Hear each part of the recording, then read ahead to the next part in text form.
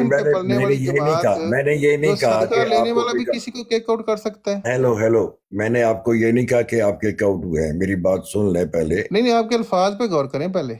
मैं आप तुम लेकिन मैंने आपके हमारी डोनेशन पे पलती है। डोनेशन पे पलने वाला फकीर किसी को केक आउट कर सकता है? ऐसे चौधरी भाई आप मेरी कंप्लीट बात सुनेंगे तो आगे बात चलेगी। चले सुनाए।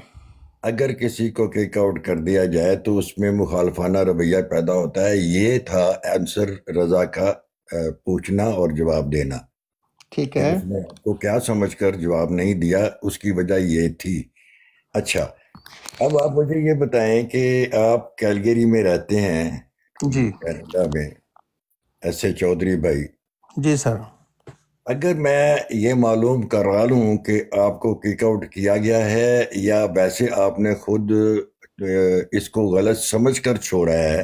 हम्म अगर मैं इसकी इंक्वायरी करा लूँ तो आपको कोई प्रॉब्लम तो नहीं होगा? ना कोई भी ना। तो फिर ज़ाहिर है कि अगर आप यहाँ नहीं तो मुझे प्राइवेट में अपना नाम दे सकते हैं। नहीं नहीं मैं यहाँ दे सकता हूँ। Sagheer Ahmed S A G H double E R Sagheer A H M A D Ahmed. Calgary north east. नहीं सजील के क्या बताया आपने सगीर। वैसे तो जमात मुझे लगता है जानती है सारी। आप ऐसे चोरी कहेंगे तो मुझे लगता है सारे जानते हैं। अगर नहीं जानते तो आप मेरा नाम ले लें। आप इंक्वायरी करा लें। सगीर ये वाला सगीर। ये वाला सगीर क्या होता है सर? मैंने तो बताया स्वात गैन ये रे आगे अहमद वो अल्फ हे मीम हाँ दाल मैंने यही लिखा है ना नीचे ठीक है मैं ठीक है। अच्छा अब मेरे साथ एक ना आप वादा कर लें। जी करें।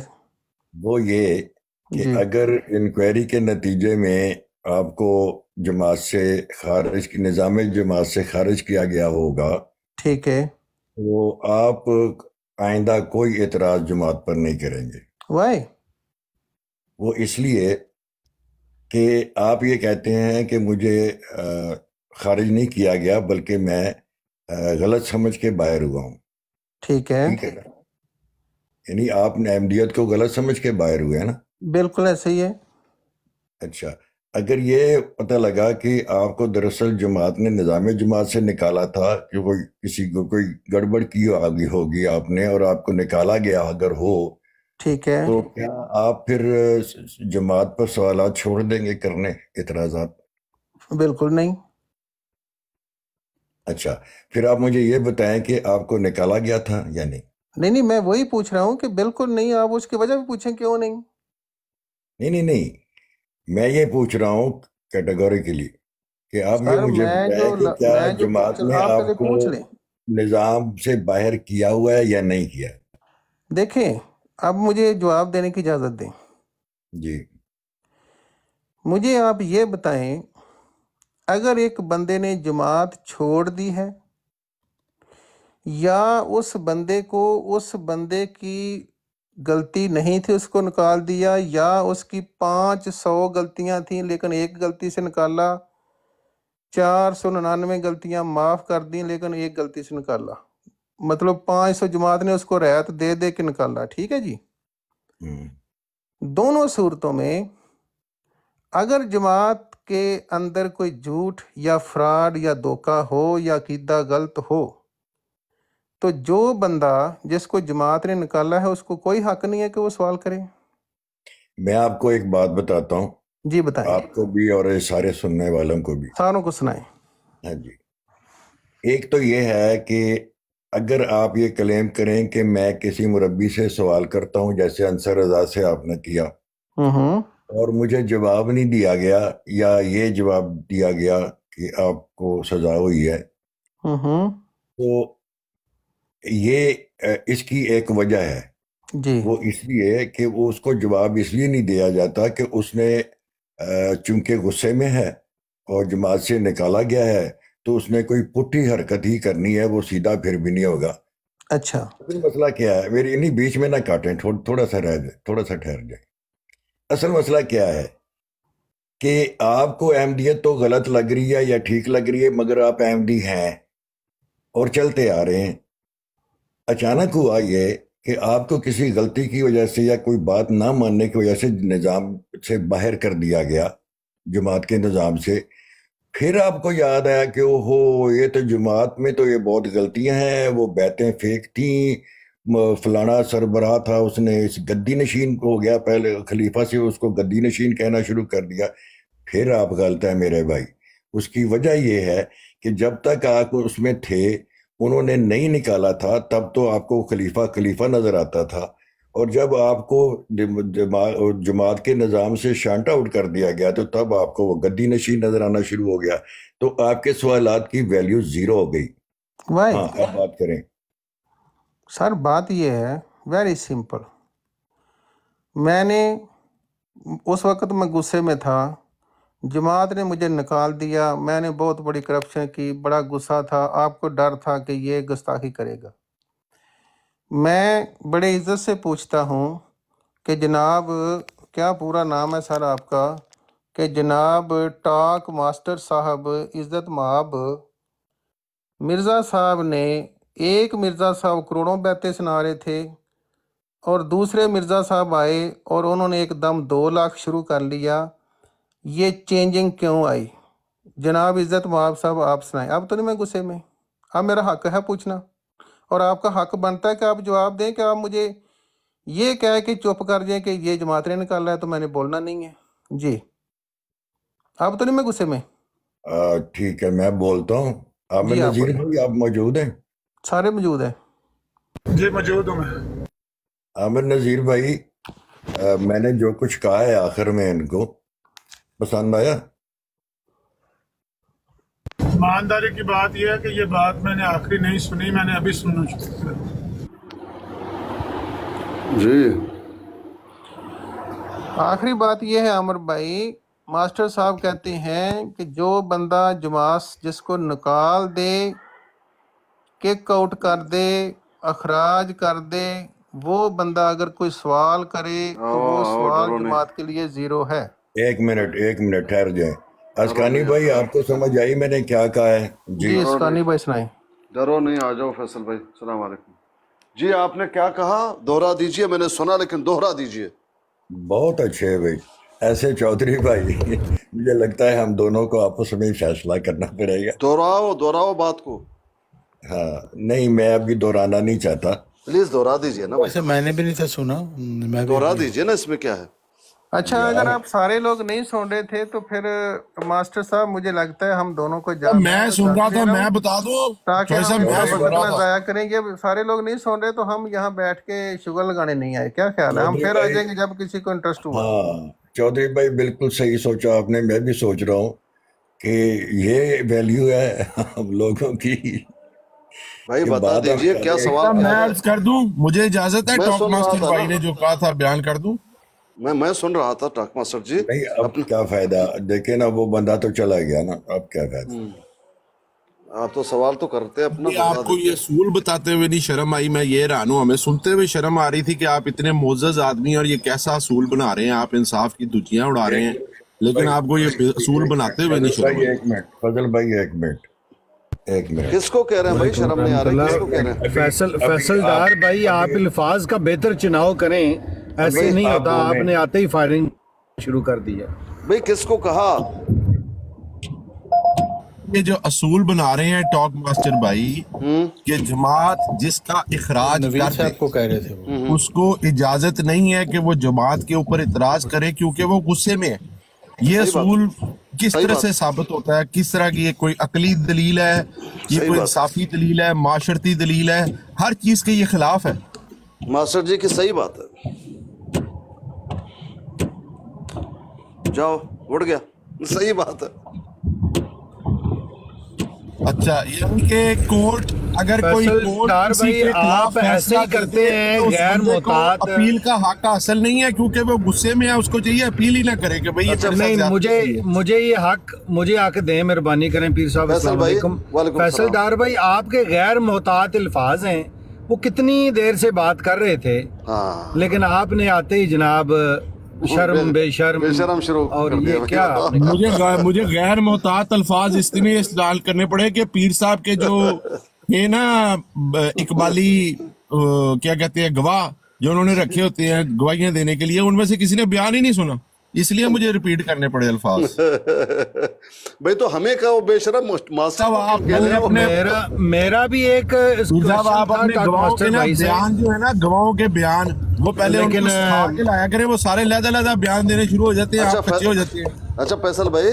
आपने फैसल भाई उड़ा दी हैं। एक मिनट भाईजान फैसल भाई। फैसल साहब। फैसल जवाब तो दो। सुन रहा हूँ उस्ताद मोहतरम। डर के मारे सुबह से कहाँ थे? साहब आपको रात को मैंने परसों रात को वाला भेजा तो परसों रात को आप सो गए।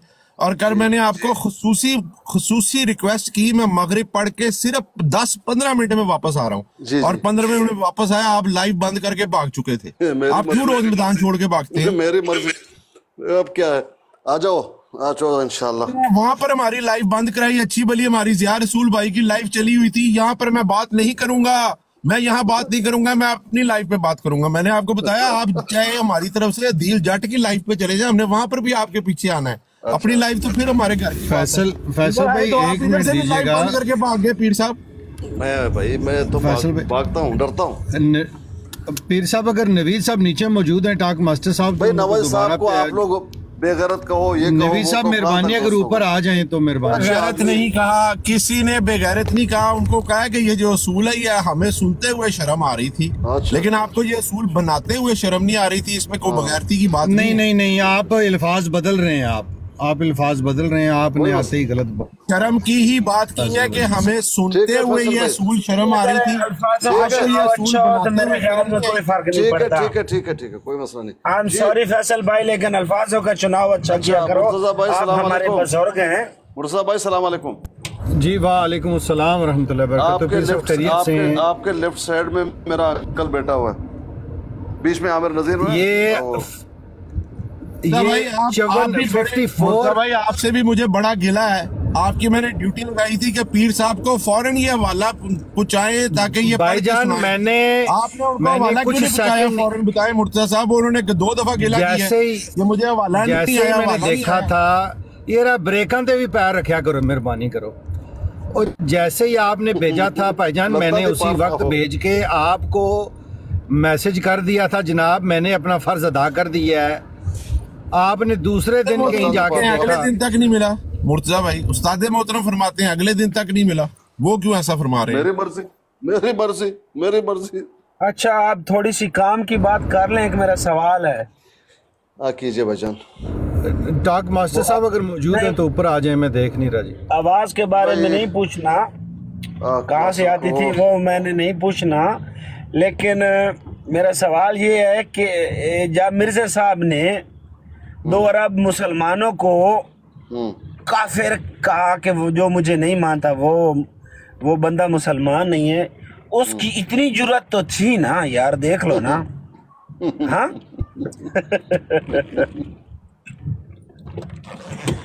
हाँ, ते ते फिर मैं सवाल- उत्थे ਉਹਨੂੰ ਆਖਣਾ ਸੀ ਉਹਨੂੰ ਆਖਣਾ ਸੀ ਕੱਲੇ ਕੱਲੇ मैं अच्छा आसकानी साहब आप सुन रहे हैं भाईजान सवाल क्या है? नहीं मेरा सवाल ये है। मैं सुन रहा हूँ। मेरा सवाल अच्छा अगर कोई शख्स ये कहे कि मैं मिर्ज़ा साहब को काफिर तो नहीं मानता लेकिन मैं उनको उनके जो उन्होंने दावी किए हैं उनमें उनको सच्चा नहीं जानता तो क्या वो मिर्ज़ा साहब के मुताबिक काफिर करार पाएगा? नहीं, नहीं, उसकी- एक मिनट तो- एक मिनट एक मिनट। भाईजान एक मिनट प्लीज़ बात को समझने दीजिए। फिर से दोहरा दीजिए। नहीं मैंने ये कहा है कि अगर एक शख्स तारिक साहब कि गूगली की कोशिश कर रहे हैं गूगली बाल कि मैं मिर्ज़ा साहब को काफिर नहीं मानता हम्म, लेकिन मैं ये मानता हूँ कि मिर्ज़ा साहब के जो दावी हैं उनमें वो सच्चे नहीं हैं। हम्म, तो मिर्ज़ा साहब के मुताबिक वो काफिर होगा या नहीं? हाँ उसकी वजाहत तो उन्होंने खुद की ना वो जो इबारत हमने देखी वो मुझे कहता है कि मुकज्जब समझता है। हाँ जी तो वो काफिर होगा? हाँ मुकज्जब का मतलब वो ये बता रहा है कि सबसे बड़ा हाँ हाँ। काफिर। यानी मिर्ज़ा फिर भी उसने मुझे काफिर ही कहा इसलिए वो काफिर है। हाँ ठीक है ना? तो यही बात असल थी कि जो शख्स उनको काफिर नहीं कहता लेकिन उनके अदावी को नहीं मानता तो मिर्ज़ा साहब के मुताबिक वो भी काफिर है।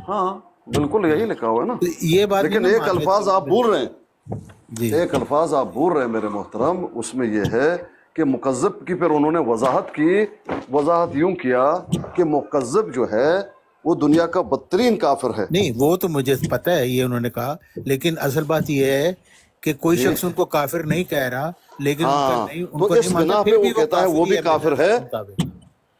मुकस नहीं मुकज़ब कहता या नहीं कहता? नहीं हाँ वो तो ठीक है वो उस पर तो हमारी कोई डिस्कशन नहीं है। देखे ना जो उनके दावी को नहीं है मानता नहीं?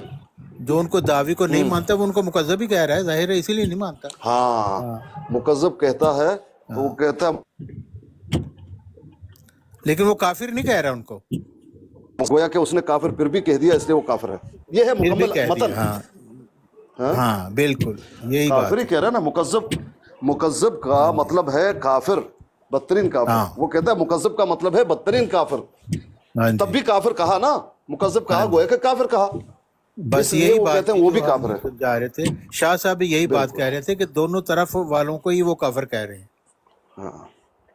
ठीक है भाई लेकिन मेरा पीर साहब बात ये थी कि उसकी इतनी ज़रूरत तो थी ना उस बंदे की कि उसने दो अरब मुसलमानों को उसने मुसलमानी के दायरे से भी बाहर निकाल तो दिया मेरी ज़रूरत भी है मैं भी सबको निकालता हूँ। कर लो जो करना मेरी भी ज़रूरत है कि नहीं?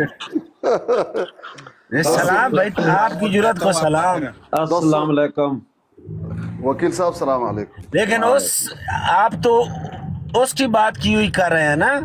लेकिन उस वक्त में उस बंदे की इतनी ज़रूरत तो थी ना? काश के मैं होता। मामूर में नल्ला जो थे। मामूर अरे वो मिनली मैं तो उधर कड्ढा मैं कड्ढा जो मैं उधर उत्थे होवा था। आज फंसी हुई है। अच्छा ये अमर भाई मुझसे है दबे हुए हैं? ये साहब मैं मैं इस पे शदीद एहतजाज करूँगा। अल्लाह जालों और जालों को मामूर नहीं करता। अल्लाह सच्चों को मामूर करता। है है जो की जा रही है। जो नहीं मानते वो तो झूठा ही कहते हैं भाई ना सुनो। अरब ईसाई हज़रत मोहम्मद सर। को काजिब कहते हैं। सर एक तो मिनट उनको मानते।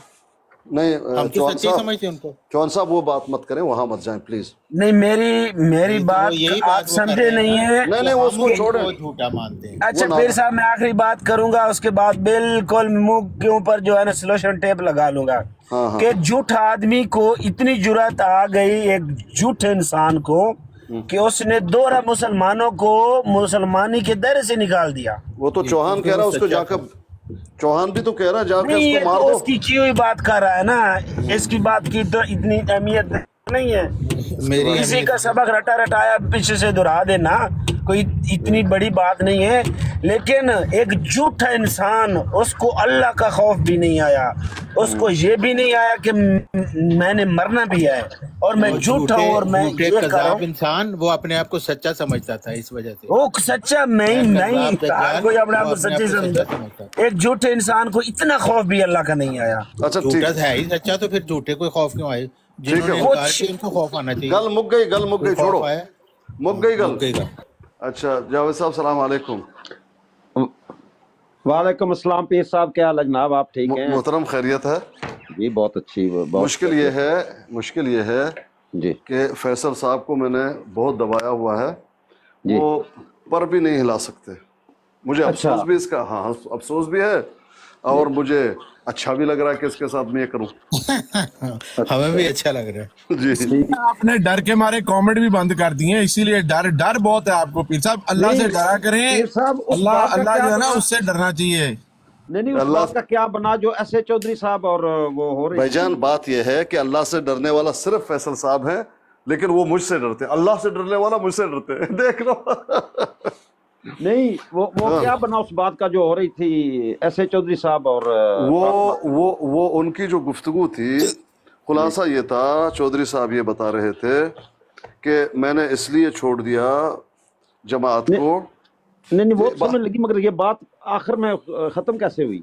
आखिर में खत्म इसलिए दोनों नाराज़ हो गए मुझे तो ऐसा लगा जब उन्होंने पूछ लिया नहीं हम लोगों से हम लोगों से।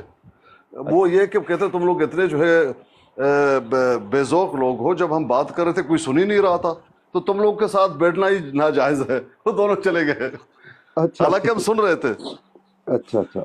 हाँ आमिर नजीर साहब वक्त मौजूद ही नहीं था। अब ज़ाहिर है कोई और भी काम दुनिया में होते हैं। नहीं आमिर नजीर साहब ये सारा जो है गुना आमिर नजीर के ऊपर है उन्होंने क्यों नहीं सुना? ये बताओ। मेरे नदीर साहब ने क्यों नहीं साहब ने क्यों अगर मुझसे सच्ची बात पूछते हैं ना हाँ। तो सच ये है कि उम्र उम्र काफ़ी ज़्यादा होगी है चौवन साल के होगी। तो, तो उनकी सुन तो लीजिए। गुनहगार को गुनहगार साबित करने तो दीजिए। जी। जो गुफ्तगु करने वाला है ना मुतकलम उसको अपनी गुफ्तगु में वो दिलचस्पी वो जाजबियत और वो वलवला पैदा करना चाहिए। कि उसको ये कहना ना पड़े, जागो जागो जागो सुबह अल्लाह को सुबह अल्लाह को मेरे पीछे लाके नहीं। अगर उसकी गुफ्तगु में जाजबियत है, ताकत है, एनर्जी है, एनर्जेटिक गुफ्तगु वो कर रहे हैं, लोगों के तो सरों पे हमने देखा, परिंदे बैठ जाते हैं। गुफ्तगु सुनते हुए, जब कोई बात, बंदा बात कर रहा हो लेकिन अगर कोई बंदा बात ही ऐसी कर रहा हो वल्ला मैं हलफ हल्फन कह रहा हूँ मैं सो गया था उनकी बात सुनते सुनते। मैं क्या मेरा क्या कसूर है? नींद पर किसी का कंट्रोल है? ये गुनाह है अजीम है। मैं फिर मुझे जो सजा देनी है दे दे। गुनाह है अजीम है। नहीं आमिर भाई हमने तो बड़ी दिलचस्पी से बात सुनी उनकी। हाँ ठीक है आपका डॉक्टर टेस्ट होगा आपका टेस्ट नहीं नहीं रात को मैं गया माइंड रोस्टर की ब्रोड पर 20 लोग थे। जब मैं गया तो 54 लोग इकट्ठे हो गए। और हवाला जात के साथ बात अच्छा। हुई बड़ी अच्छी बात हुई मेरी उनके साथ। एक हवाला मैंने कर्ज लिया हुआ आपको मैंने लिखा था मेरा ख्याल में पढ़ लिया मैसेज। तो एक जोया नहीं, साहब नहीं पढ़ा उनसे- मैसेज व्हाट्सएप पे मैसेज किया? नहीं नहीं मैंने आपको इधर लिखा था। मैं मुझे नहीं पता था कि आप पढ़ नहीं रहे मैसेज। नहीं नहीं मैंने नहीं देखा हम्म। अच्छा वो, वो मैं आमिर भाई आप सुबह जल्दी जाग जाते हैं इसलिए आप सो गए थे आप उन पे ना सारी डालें। वैसे भी माशाल्लाह उम्र सीधा है आप तीर साहब से ज़्यादा उम्र है। साहब। है। तो हाँ हाँ, मुकम्मल कीजिए राजा दो भाई। घंटे दो घंटे मेरी बात हुई है उनसे। एमजी साहब भी आके उधर। तो आज सुबह वो पूरा सुबह उन्होंने ना मेरी वो जो गुफ्तगू थी उनको डिस्कस किया है मीर की ब्रॉडकास्ट आपस में दोबारा। अच्छा। तो वो ये शोर कहाँ से आ रहा है? नहीं भाई माइक म्यूट करें। पीरसकानी भाई माइक म्यूट करें।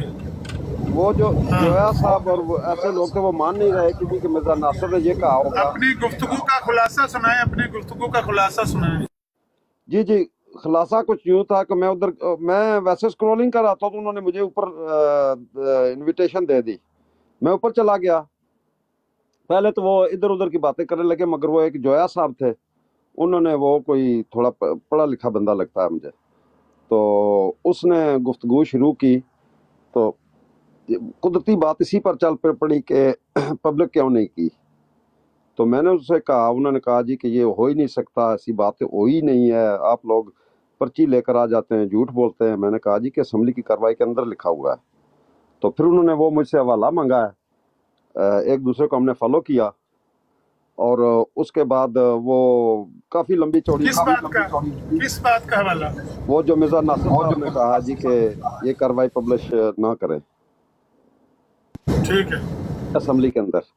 तो दूसरा जो है बात वो इस पर हुई जो ये ये क्यों असम्बली में गए क्यों थे? कि असम्बली शराबियों की थी फलां फलां फलां फलां फलां। तो मैंने जब ये उनसे पूछा कि मिर्ज़ा नासिर साहब को ये इल्म नहीं था असम्बली के बारे में, उनको ये इल्म नहीं था कि ये जमहूरी असम्बली नहीं है, उनको ये इल्म नहीं था कि वहाँ यहाँ पर कोई जज है या कोई मदई है।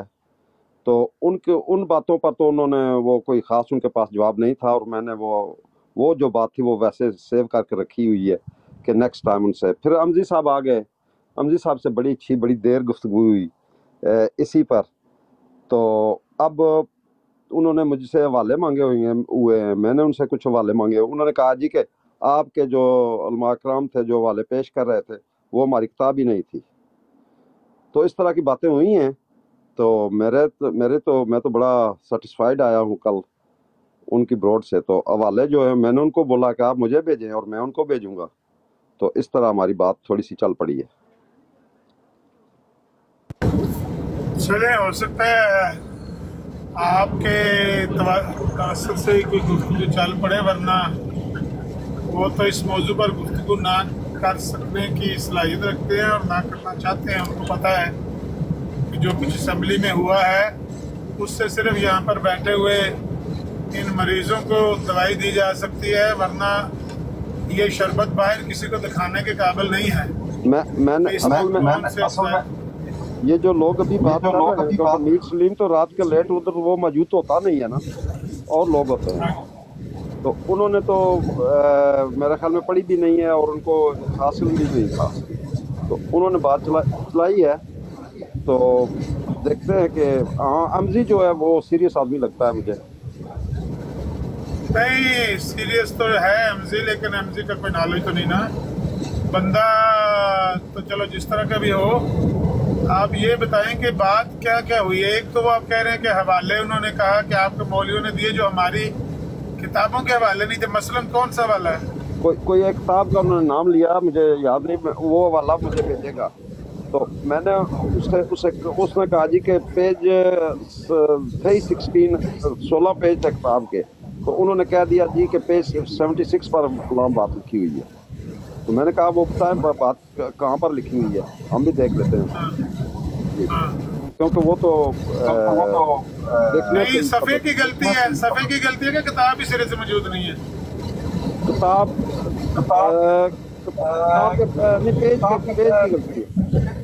पेज की गलती है तो ये तो कोई गलती ना हुई ना। पेज किसी किताब का गलत बयान कर देना कोई बेईमानी मुनाफिक झूठ तो नहीं है। देखें इनकी किताबें। नहीं टाइपिंग आ रहा है। साहब की नहीं उस पर बहस हुई है कि ये हमारी किताब ही नहीं है। अगर उसके हाँ ये अगर है तो ये ये मैंने बात मांगी है। मैंने ये बात वो किताब है जो? जी जी। मैंने ये हवाला मांगा देखिए कौन सी क्या बात है? इस पर इस पर तो बाकी मैंने उनको उनसे बोला कि वो काफ़ी बात हुई इस पर कि असम्बली किसी के ईमान का फैसला कर सकती है या नहीं। तो उस पर मैंने उनको जब कहा, जी कि, आप क्या समझते हैं? जो मिर्ज़ा बशीरुद्दीन, मैंने लिखा हुआ है काफर पक्का काफर, दारा इस्लाम से खारिज, उस उस बात को आप रिजेक्ट करते हैं तो वो उस पर उन्होंने कहा, जी कि, ये वाला हम देख कर बताएँ। ये किसने कहा वाला देख कर बताएँगे यही मैं कह रहा हूँ इन्होंने आज तक हवाले पढ़े ही नहीं है इनको। बहरहाल मैंने वो वो, वो, वो स्कान आपने एक बार लगाया था जो क्योंकि मैंने वो काफ़ी लंबा है मेरे पास तो असम्बली कार्रवाई पड़ी है मगर वो मुझे ढूंढनी पड़ेगी आपके पास वो स्कान पड़ा है वो मुझे अगर भेज दें व्हाट्सएप पर कौन सा वाला कौन सा वाला? वो मिर्ज़ा नासिर वाला वो जहाँ कह रहा है जी ठीक है इसको शायर ना हाँ हाँ वो मौजूद है मिल जाएगी। जी जी मुझे पता ना आपने एक बार लगाया भी था इसलिए मैंने आपसे मांगा। वो मिल जाएगा मैं अभी ड्राइव कर रहा हूँ रुकता हूँ तो व्हाट्सएप ਨਹੀਂ ਉਹਨੂੰ ਤਸੱਲੀ ਨਹੀਂ ਹੋਈ ਕਿ ਕੁਝ ਨਹੀਂ ਹੁੰਦਾ ਗੱਲ ਕਰ ਸਕਨੇ ਆ ਅਸੀਂ ਅਸੈਂਬਲੀ ਤੇ ਨਹੀਂ ਮੇਰਾ ਖਿਆਲ ਹੈ ਜਿਹੜੇ ਬੰਦੇ ਗੱਲ ਕਰ ਰਹੇ ਸੀ ਉਹਨਾਂ ਕੇ ਆਪਣਾ ਆਪਣਾ ਨੌਲੇਜ ਕਮਜ਼ੋਰ ਸੀ ਤੇ ਉਹ ਜਿਸ ਲਈ ਮੀਰ ਸਲੀਮ ਕੋਲ ਜਾਣਗੇ ਨਾ ਉਹ ਸ਼ਾਇਦ ਬਦਲ ਜਾਣ ਫਿਲਹਾਲ ਗੱਲ ਮੀਰ ਸਲੀਮ ਨੇ ਨਹੀਂ ਕੀਤੀ ਨਹੀਂ ਨਹੀਂ ਮੀਰ ਸਲੀਮ ਭਾਜੀ ਇਸ ਮਸਲਾ ਦਾ ਲੈ ਅੱਛਾ ਗੱਲ ਤੁਹਾਡੀ ਕੈਮਜ਼ੇ ਨਾਲ ਹੋਈ ਤੇ ਇੱਕ ਜੋਇਆ ਨਾਲ ਹੋਈ ਦੋ ਬੰਦਿਆਂ ਨਾਲ जोया नाल बाश जोया अमजी और एक दो और थे एक इरफान गुजर था वो तो वैसे ही इधर उधर की मार रहा था उसका सीरियस बात नहीं ਤੇ ਸਰ ਭੱਟੀ ਦੀ ਬਰਾੜ ਵਾਲੇ ਕਲੈਨ ਨੇ ਅੱਛਾ ਅੱਛਾ। जी जी तो बड़ा ਨਹੀਂ बड़े अच्छे ਆਖਣਾ तो ਆਖਣਾ ਇੰਨਾ ਹੀ ਦਰਦ ਹੋਵੇਗਾ ਤੁਸੀਂ ਆ ਜਾਓ ਗੱਲ ਕਰੀਏ ਅਸੈਂਬਲੀ ਦੇ ਮੌਜੂ ਤੇ ਜਿੰਨਾ ਦਰਦ ਹੋਇਆ ਇੰਨਾ ਹੀ ਹੋਦਾ ਇਸ ਤੋਂ ਜ਼ਿਆਦਾ ਨਹੀਂ ਹੋਣ ਲੱਗਾ ਆ ਜਾਓ ਹਿੰਮਤ ਕਰੋ नहीं ये ये ये इस इस इस तरफ मैं बात लेकर जा रहा हूँ देखें शायद कामयाबी हो जाए तो हमने हवाले एक्सचेंज करने का इनिशली वो जो है जो है ना वो थोड़ा अच्छा बंदा लगा है मुझे सीरियस लगा है वकील साहब जी जी जी आप चार पाँच बंदे में क्यों बात करते हैं? बात तरतीब से कीजिए ना एक बंदे से कीजिए। तो मैं मैं अमर भाई से कर रहा हूँ। ना वहाँ आप जो बता रहे हैं इस इसने भी बात की उसने भी बात की उसने भी चार आदमियों का तो आपने नाम ले लिया। इस तरह तो नहीं। खिच- खिचड़ी हो जाएगा ना। नहीं नहीं पीर साहब देखें हम तो हम तो इस बात पर भी राज़ी हैं कि वो वो चार पाँच बंदे बात करें हमें कोई इतराज नहीं इस बात पर। बात से करें सही वो बात ही नहीं करते क्या करें? हाँ। हम्म हम्म। लेकिन चार पाँच चार पाँच बंदे बात करेंगे बात बिल्कुल समझ में नहीं आएगी खिचड़ी बन जाएगी। नहीं नहीं बात की ये आपकी बात दुरुस्त है और कई सवाल जो थे वो बीच में रह जाते थे वो नया मौजूद छेड़ देते थे ये बात आपकी दुरुस्त है। मगर कहीं ना कहीं से तो बात शुरू करनी पड़ेगी ना। हम्म, सही। बात की बात का जो आगाज़ है वो तो करना पड़ेगा ना। अब आगाज़ हो गया उनके साथ। देखते हैं अब वो इस बात को कैसे आगे बढ़ाते हैं। हम्म, ठीक ठीक। जी जी। ठीक। लेकिन इसका ख्याल रखें अगर चार बंदे बात कर रहे हैं तो बात बिल्कुल सही जाएगी नहीं।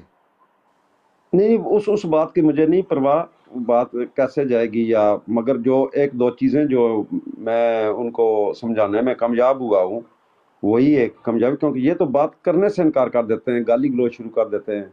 और अ, अ, कल पहली बार दो घंटे बात मेरी या डेढ़ घंटा बात हुई है उनके साथ बगैर किसी मतलब है कि एक अच्छा उस गुफ्तगू पर आप आपस में डिस्कस कर रहे थे सलीम मीर के साथ? नहीं नहीं वो वो वो, नहीं, नहीं, वो, वो, वो तो मौजूद ही नहीं था ना रात को लेट नहीं अभी सुबह आप कह रहे हैं ना उस पर हाँ हाँ वो डिस्कशन पता नहीं मैंने थोड़ी देर सुनी है फिर मैं इधर आ गया क्योंकि मेरा एक खून आ गया था। तो वो इसी बात पर और मेरे मेरे मतलब की बात कर रहे थे आपस में सब लोग। मतलब मीर सलीम से जहर भरवा रहे थे। Okay okay. अच्छा वकील साहब ये ये ये कहाँ तक दुरुस्त है? मुनीर इंक्वायरियों में ये कहा गया था मुसलमानों को कि तुम सब एक दूसरे को काफिर कहते हो। इस तरह सबको हाँक के निकाल दिया। इस तरह का कोई मफहूम? ये नहीं है। ये ये कहा गया कि आप कोई मुसलमान की तारीफ़ कर दें बता दें कि ये मुसलमान होता है। हाँ, मुसलमान की डेफिनेशन बयान कर दें। हम्म। तो इस तरह की डेफिनेशन कोई है नहीं ना? नहीं मुनीर मुनीर साहब ने ये कहा था कि भाई कोई एक जो है है नहीं तुम लोग की त- त- तारीफ़ इसकी मानो तो वो काफिर उसकी मानो तो वो काफिर उसकी मानो तो वो काफिर। ज़ाहिर है ज़ाहिर है जब आप सवाल ही गलत फ्रेम करेंगे तो जवाब भी टेढ़ा ही आएगा ना। टेढ़े ये सवाल का टेढ़ा जवाब। तो ये कहा था मुनीर इंक्वायरी में इसने कहा था कि तुम लोग की तारीफ़ मानी जाए तो तुम लोग सब काफिर हो हो जाते हो इसलिए निकल जाओ। नहीं ये इस तरह की बात है कि भाई अगर एक की तारीफ़ देखी जाए तो फिर इससे तो दूसरे पर जाकर ज़रूरत पड़ती है उसकी माने तो वो तीसरे पर जाकर लगती है। हाँ, तो इनकी तारीफ़ जो है वो ऐसी कोई मुतफिका तारीफ़ नहीं है तो मुतफिका तारीफ़ तो नहीं है ये बात तो हम मानते हैं ना। नहीं रात को भी नहीं, ये सवाल यह है कि वो क्या गया था या नहीं और ये जवाब आया था या नहीं? नहीं पीर हाँ हाँ साहब नहीं नहीं नहीं मैं आपको बताता हूँ। देखें इंक्वायरी किसी भी इंक्वायरी के अंदर ये नहीं किसी को कहा जाता आप निकलें आप जाएँ। ऐसे बात नहीं होती मगर जो बात बंदा कर रहा होता है उसकी बात सुनी ज़रूर जाती है कि, कि दूसरा बंदा क्या कर रहा है क्या कह रहा है। ये बात असम्बली के अंदर भी हुई थी कि कि एक दूसरे को काफिर कहने वाली और वो तजीर नास वाला कोई बात और इधर उधर की बातें भी उधर भी हुई थी। मगर रात को जब इन्होंने मेरे साथ ये बात की तो मैं उनको बोला था कि देखें नाज पे तो बात ही कोई नहीं हुई। मुनीर मुनीर इंक्वायरी में क्या हुआ था? मोहतरम वकील साहब। नहीं मैं ये वही तो बता रहा हूँ ना बात तो सुनी गई सबकी बात सुनी जाती है। मगर ये किसी को नहीं कहा गया कि आप निकलें यहाँ से। क्या कहा गया था? तारीफें तारीफें सबने पेश की थी? नहीं तारीफ़ तारीफ़ वाली बात हुई थी बिल्कुल हुई थी। हाँ? मगर उन्होंने बात सुनी और बात उन्होंने उसमें दर्ज कर दी सीधी सी बात है और नहीं ये ये कहाँ फिर किस तरह से उन्होंने कहा कि इसकी सुनो वो काफिर हो जाएगा? इसका मतलब है तो तारीफें पेश की गई थी ना भाई?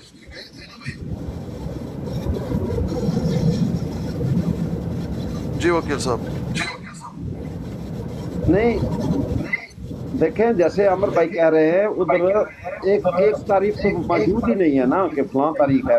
मैंने जो, जो, जवाब दिया इनको रात को उन्होंने ये ऐसी बात की थी मैंने उनको बोला कि देखे वो बार बार कह रहे थे जी बहत्तर बहत्तर तिहत्तर तिहत्तर ऐसी बातें कर रहे थे। आप अभी अफसर ये ये हर जगह पर करते हैं। मगर पहले तो मैंने उनसे ये पूछा कि मुझे बताएँ वो बहत्तर का नाम क्या थे जो मौजूद थे। वहाँ पर तो सिर्फ़ जो हमारे हैं मकबरा फ़िक्र के लोग वही थे। मगर बात फिर साहब ये है कि एक तारीफ़ आप मुझे बता दें कौन सी लिखी हुई है? कि इस तरह की कोई एक तारीफ़ कोई मांगे किसी से वो तो दे ही नहीं ना सकता। तो मुसलमान की तारीफ़ क्या? है वकील साहब देखिए मैं थोड़ा सा मेरी उर्दू कमज़ोर है। मेरा सवाल ये है कि मोहतरम मैं आपको म्यूट कर रहा हूँ क्योंकि आवाज़ शोर आ रही है। अच्छा अमन अज़ीज़ साहब माजरत। अच्छा भाई बात यह है कि ये जो कहा गया ना कि इसकी तारीफ़ मानो तो वो काफिर उसकी तारीफ़ मानो वो काफिर तो किसी की तारीफ़ मानी नहीं गई। इससे नतीजा खुद ये बरामद होता है कि तारीफी की गई थी तब तो वहाँ इंक्वायरी में ये कह गया था और अगर कोई तारीफ़ पेश नहीं करता तो ये बात करने का क्या मतलब इसके क्या मुहरकात है? मैं मैं आपको बताता हूँ। जी। ये जो जमात अहमदिया वाले हैं ना ये अपनी बात से निकलने के लिए ये कहते हैं कि जी कि इनकी किताबों को पढ़ें तो इनकी किताबों के अंदर एक दूसरे को भी काफिर कहा गया है। हाँ हाँ। मगर ये जो एक दूसरे को काफिर कहने वाली बात है वो किसी पर कोई उजत नहीं है। अगर किसी बरेलवी ने लिखा है अल हदीस के मतलब या अल हदीस ने लिखा है बरेलवी के मतलब तो इस बात को तो आप इग्नोर कर सकते हैं। ये एक मैं वो इंक्वायरी में मुनीर साहब ने क्या कहा था? उसका मैं, मैं- जवाब चाहिए। मैं मैं आपको मैं आपको दोबारा चेक करके बता दूँगा कि हाँ, हाँ, ये हाँ, क्या कहा हाँ। था मगर मगर हाँ। बात जो हुई थी उधर वो वो बात दर्ज है उधर वाकई सही बात है आपकी। हाँ, मगर उसमें कोई ऑथेंटिक बात नहीं है कि इंक्वायरी मुनीर इंक्वायरी में ये कंक्लूड हो गया था। कुछ बात वो कोई अतमी राय नहीं दी गई थी इस पर हम्म। ये मुनीर साहब कहाँ के थे? पाकिस्तान के जस्टिस थे ना। ना ना, वो तो मैं जानता हूँ मतलब कौन से सूबे के थे? मेरा ख्याल में पंजाब के थे। पंजाब ही के थे ना? जी। हाँ ठीक है फिर तो ठीक जी। जी मेरी बात खत्म हो गई। अमन रज़ी साहब बात कीजिए। असल में ना ये इंक्वायरी कमीशन बना इसलिए था कि 1947 में पाकिस्तान अलग हुआ। उसके बाद जब ये यहाँ आए हैं तो इन्होंने पार पुर्जे निकालने शुरू कर दिए। जिस तरह ये चौहान साहब कल बता रहे थे कि एक फोर्स यहाँ पे तैयार कर ली और नाम रख लिया कि हम कश्मीर आज़ाद कराएँगे। बदमाशी शुरू कर दी उसने। ये बदमाशी वहाँ भी करते थे।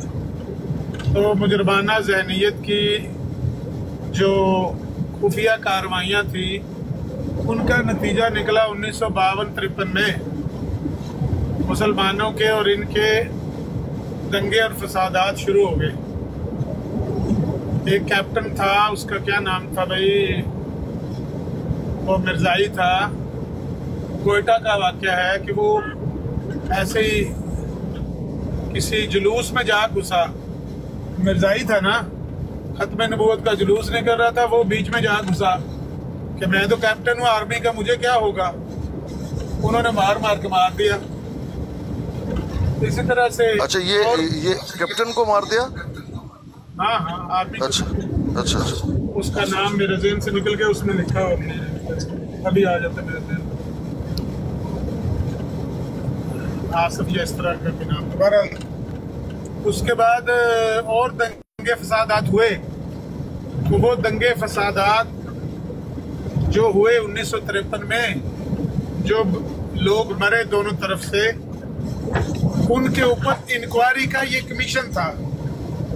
कि भाई इसकी, इसका सब दरियाफ्त किया जाए कि ये जो दंगे और फसादात हुए हैं, ये किसने छेड़े हैं? कोई दुश्मन की साजिश है? या हमारी अपनी गलती है? ये क्यों हुए हैं? ये लड़ाइयाँ क्यों हुई हैं? बंदे क्यों इतने मारे गए? वो एक रुकनी कमीशन था, वो एक ही बंदा जो जस्टिस मुनीर था ना। वैसे तो नॉर्मली जो जजों के बेंच बनते हैं, वो तीन या पाँच छह लोगों के होते हैं, लेकिन वहाँ पर एक रुकनी वो बेंच था, अकेला ही वो जज था। तो उसमें भी थोड़ा एक होता है कि एक बंदा हो तो उसके जहन में जो बात आ रही है, वो पूछता है। लेकिन बहरहाल उसने एक रिपोर्ट तैयार करके सबमिट कर दी कि भाई, मेरी नज़र में ये ये वाक़यात इस इस वजह से हुए हैं। तो बहुत सारी गलतियाँ उसने इनकी गिनवाई हैं मिर्जाइयों की, कि फलां फलां वजह से ये सारे मामला हुए हैं। तो टोटली मिला के, कुल मिला के तो वो सिर्फ़ जो कमीशन रिपोर्ट थी, वो किसी बात का फैसला करने के लिए नहीं थी, लेकिन कमीशन की जो प्रोसीडिंग है, उसके दौरान ये मसला जेर बहस आया था कि इनको नॉन मुस्लिम डिक्लेयर करना चाहिए। इनको हमारे इस्लाम ने ऑलरेडी नॉन मुस्लिम डिक्लेयर किया हुआ है। 200 से ज़्यादा उलमा का हिंदुस्तान में फतवा है। उन्होंने बताया कि आज से 60 बा, साठ बासठ साल पहले हिंदुस्तान में हिंदुस्तान के 200 उलमा का फतवा है इनके ऊपर। इनको ऑफिशियली नॉन मुस्लिम डिक्लेयर करना चाहिए तो जस्टिस मुनीर ने कहा कि पहली तो बात यह है कि मेरा ये मैंडेट नहीं है कि मैं किसी को नॉन मुस्लिम डिक्लेयर करूँ। मैं जज सरकारी मुलाजम हूँ और जिस बात का मुझे मैंडेट देकर यहाँ पर बिठाया गया है। उसमें ये चीज़ दाखिल नहीं है कि मैं इनके मुस्लिम और नॉन मुस्लिम होने का फैसला करूँ, लेकिन आप बताएँ, मैं रिपोर्ट में दर्ज कर देता हूँ। आप बताएँ कि मुसलमान कौन होता है? किसको मुसलमान होना चाहिए, किसको नॉन मुस्लिम होना चाहिए? ये बात हुई है। मुतालबा मुस्लिम उलमा की तरफ़ से हुआ है। तो फिर उन्होंने जब ये सवाल किया तो इस पर जो उलमा हैं, उन्होंने जिस तरह के जवाब दिए, इस पर उसने लिखा हुआ है कि जो इन्होंने मुझे तारीफ़ बताई है मुसलमान की, वो तो मैं देखता हूँ अगर उस तारीफ़ की रूह से तो हर दूसरा बंदा काफर ही नज़र आता है, एक की तारीफ़ सुनता तो दूसरा काफर, दूसरे की सुनता तो तीसरा काफर। ये है टोटल बात। लेकिन उसमें उसने कोई फैसला किसी के खिलाफ नहीं किया, वो तो उसने दंगे और फसादात की वजूहत बयान करने के लिए ये कमीशन जो था वो काम करता रहा है। पर वो बात जो उसने लिखी है कि ऐसी कोई मुसलमा तारीख मेरे सामने नहीं आई जिस तारीफ़ की रूह से किसी एक ग्रुप को मुसलमान और किसी दूसरे को काफर करार दिया जाए तो ये बात दुरुस्त है? ऐसी कोई मुसलमान तारीफ़ तो नहीं है भाई ये उनको क्यों कहना पड़ा?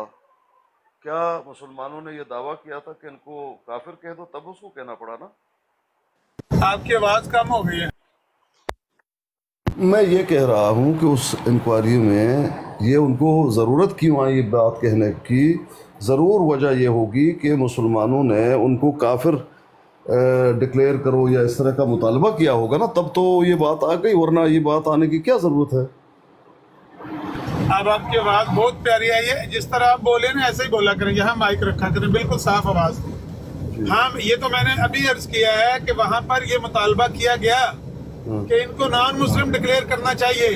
हाँ तो उसने क्या जो जवाब? क्या जवाब? उसने कहा कि ये तो मेरा मैंडेट नहीं है ना कि मैं इनको नॉन मुस्लिम डिक्लेयर करूँ मैं इन दंगों और फसादात की वजूह जानने के लिए कमीशन बनाया गया हूँ। ना कि मैं किसी को मुस्लिम नॉन मुस्लिम डिक्लेयर करने के लिए जो सरकारी मुलाजम होते हैं जी, उनको अपनी हदूदों को यूज़ का पता होता है ना मैं जानता हूँ इस मसले को मैं जानता हूँ। थोड़ा सा सुन लीजिए। अच्छा अब ये केस यहाँ जो है वो हिफ्ज तो नहीं हुआ उसको आगे फिर जाना चाहिए ना मुसलमानों को आगे या ये यहीं पे उसको कलम बंद कर दिया। एक हमारे यहाँ एक लफ्ज हमारे यहाँ हमारे यहाँ के लफ्ज़ है इस तरह के केसेस। जब देखे जाते हैं, फिर वो कहा जाता है हुफत वो लिखा जाता है कि अलकदिया हुफत यानी इस केस को महफूज कर लिया गया, यानी बंद कर दिया गया है। तो ये बंद कर दिया, आगे नहीं जाएगी। वजह, फैसला हो गया, बस यही फैसला। लेकिन यह है कि वहाँ पर अपील है। भाई आप कैसे बंद कर सकते हैं? हमने तो इनको काफिर ठहराना है। इसने बंद कर दिया, आगे गए या नहीं गए? नहीं असल में अभी भी बात मेरा ख्याल है इस तरह से नहीं है कि मुस्लिम उलमा वहाँ पर इनको नॉन मुस्लिम डिक्लेयर करवाने के लिए गए थे। मुस्लिम उलमा तो उन वजूहत के स, जो सवालों जवाब थे उनके लिए गए थे ना दंगे और फसादात की जो वजूहत थी उन पर अपने बयान देने के लिए गए थे लेकिन बीच में एक बात ये आ गई कि इनको नॉन मुस्लिम डिक्लेयर करें हुकूमत को चाहिए कि वो इनको नॉन मुस्लिम डिक्लेयर करे जब वो नहीं हुआ और उसने कहा कि ये ये मेरा मैंडेट नहीं है तो मुस्लिम उलमा ने छोड़ा तो नहीं है। ये बात तो समझ गया। अब मैं समझ गया असल बात यह है मैं समझ गया कि असल बात तो वो इंक्वायरी थी वो दंगे फसाद का सबब था। उसको लेते लेते बात करते करते मुसलमानों ने ये भी मुतालबा किया तो उन्होंने बताया कि भाई ये मेरा काम नहीं है। समझ गया? ऐसा ही है ना? हाँ जी हाँ जी बिल्कुल ऐसा ही है। और जब वहाँ से मुसलमान उलमा ने देखा कि ठीक है ये दंगे फसादात का इसका मैंडेट है ये फैसला नहीं कर सकता जज तो उन्होंने छोड़ा तो नहीं है मुतालबा। जलूस जलसे होते रहे पाकिस्तान भर में। उसके बाद 20 साल के बाद पाकिस्तान की असम्बली में फैसला हो गया। लेकिन बहरहाल ये सिलसिला जब से पाकिस्तान बना है तब से ये ये मुतालबा की तरफ़ से जारी था कि इनको सरकारी तौर पर नॉन मुस्लिम डिक्लेयर किया जाए। ये इसीलिए भुट्टो ने कहा था कि मैंने नब्बे साल मसला हल कर दिया है। सैतालीस से लेकर चौहत्तर तक अगर आप देखें तो ये तकरीबन सत्ताईस साल बनते हैं, सत्ताईस, अट्ठाईस साल। तो जब से पाकिस्तान बना, सत्ताईस, अट्ठाईस साल से रोज यही मुतालबा होता था, हर जलसे में। कादियानियों को नॉन मुस्लिम डिक्लेयर करो, कादियानियों को नॉन मुस्लिम डिक्लेयर करो। उलमा के जिधर जिधर कॉन्फ्रेंस और जलसे होते थे, ये मुतालबा हर जलसे में दोहराया जाता था। तो 74 में फिर वो फैसला हो गया।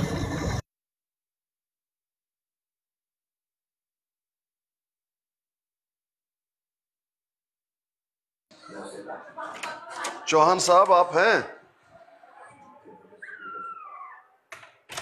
छब्बीस मिनट हो गए हैं। मेरे प्यारे दोस्त राजा जवेद भाई आपको समझा रहे हैं। वाली है। छब्बीस मिनट छब्बीस मिनट। ताहिर चौहान भाई। ताहिर चौहान साहब सो गए हैं। या उन्होंने हकीकत नहीं था सोना ही था। छब्बीस मिनट तक आपको एक सिंपल सी एक लाइन समझ नहीं आई। पीर साहब फिर तमाशाई ने सो ही जाना है ना? जो आमिर भाई ने बताया तो था पिछली दफ़ा वो सो गए थे इस दफ़ा तारिक चौहान साहब सो गए। फैसल साहब एक मिनट ये मोहम्मद ये सोहेल साहब आए हैं। ये रात को मौजूद थे उधर जब हमारी बात हुई थी तो हो रही थी। तो इनसे कोई कमेंट ले लें उस पर। ये भूल गए होंगे मैंने टिकट लिया है तो आ जाओ सलाम वालेकुम मेरे मीठे रात को रात को इन्होंने यही बात की उधर मैंने भी टिकट लिया हुआ है मगर इनका टिकट किसी ने देखा भी नहीं। पाट दिया। चले हम नहीं पाटते सोहेल साहब खुश आमदीद। हाँ जी अस्सलाम वालेकुम। क्या हाल है मेरे मीठे मीठे प्यारे प्यारे मुसलमान भाइयों के? एकदम कड़वा कड़वाहट है आपके खिलाफ। वालेकुम सलाम। जी। अच्छा पीर साहब पहले तो मैं आपको एहतजाज करा लूँ। आप या तो एक लिस्ट जारी कर दें कि भाई ये ये लोग मेरी ब्रॉड पे आने के मजाज हैं। बाकी मैं किसी? कल मैं दो बार आधा आधा घंटा आपके साथ मैं बैठा रहा हूँ। लेकिन कोई तवज्जो नहीं दी गई। एक जिस तरह से होता है ना एक डेकोरेशन पीस इंसान सजा के रख देता है अपनी ब्रॉड पे। बिल्कुल मेरा किरदार कल डेकोरेशन पीस की तरह था। आमिर नजीर से पूछ लीजिए इनकी तरफ़ से होती हैं ज्यादतियाँ जिम्मेदार वो है। सबसे ज़्यादा नहीं है हमें पीर साहब आप गलत बयानी कर रहे हैं। आप उन कादियानी हजरात को सिर्फ़ लेते हैं जो आपकी हिमायत में बयान देते हैं। आप सिर्फ़ उनको मौका देते हैं बार बार उनका नाम लेके बुलाते हैं उनको उनकी बारी हो जाती है। आप फिर उनको दोबारा बुला लेते हैं। जो शरीफ लोग हैं मोहम्मद सुहेल नासिर जैसे जो कि कभी ऐसी भी बात कर सकते हैं जो आपके खिलाफ जा रही हो हमारे हक में जा रही हो आप उनको मौका नहीं देते पीर साहब। भाईजान मैंने तो अपना जवाब दे दिया। अभी आमिर नजीर साहब से तफ्तीश कीजिए। सारा मलामत हुई है उन्होंने क्यों बात इनकी इनकी इनकी अभी दूर दूर कर देते हैं अभी इनका दुख दूर कर देते हैं। मोहम्मद सुहेल नासिर भाई आप इंग्लिश तो पढ़ लेते हैं ना? मोहम्मद सुहेल नासिर भाई। अपनी हाँ बात इंग्लिश पढ़ लेता हूँ। अच्छा हाँ ये मेरा एक हवाला पढ़ के छोड़े तुम्हारा हवाला छोड़े उनका अपना जो है वो अपनी जो है वो बताया मेरा एक हवाला पढ़ के पीर साहब को यार फैसल साहब मैं हैरान हूँ अभी तक आपके हवालों का बुखार उतरा कोई नहीं है यार। फैसल भाई इनको रात की बात पर इनको कमेंट करना हाँ। सर सर साहब। बताइए। अच्छा जी मैं अभी ये बात हो रही थी जी मुनीर कमेटी इंक्वायरी उसमें मैं भी थोड़ा सा मैंने भी जो सुना है उसमें मैं भी अपना हिस्सा डाल लेता हूँ। असल में मुसलमान जो है ना, वो हमेशा हक और सच के खिलाफ ही खड़े रहे हैं और हक और सच जो है वो जमात अहमदिया है। इस बात का आप पाकिस्तान की तारीख का मुशाह करेंगे तो आपको बार बार इस तारीख का आपको अंदाज़ा होगा। दूसरी बात ये जो मुनीर कमेटी इंक्वायरी रिपोर्ट की बात है ना, इसमें जज साहब ने अब थोड़े से सख्त अल्फाज भारत में नहीं मतलब इस तरह से कह लें कि शटअप कॉल दे दी थी, जितने भी ये अकाबरीन हैं मुसलमानों के कि जी आप लोग एक मुसलमान की मिलके इकट्ठे तारीफ़ बयान नहीं कर सके। पहले आप इकट्ठे मिलके तारीफ़ तो उन्होंने जो है मोहलत मांगी थी कि जी आप हमें कुछ मोहलत दे दें, हम मुसलमान की तारीफ़ इकट्ठी बना के ले आते हैं। तो जो उस टाइम शायद इंसाफ पसंद जज था, उसने कहा कि 1400 साल आपको हो गए हैं, अभी आप 1400 साल में आप एक मुसलमान की तारीफ़ नहीं बयान कर सके। तो इसलिए वो इस बिना पे मेरे ख्याल से केस रिजेक्ट हो गया था कि जितने भी ये मुसलमान थे ना वो मुसलमान की एक इज्तमाही तारीफ़ नहीं बयान कर सके थे वहाँ।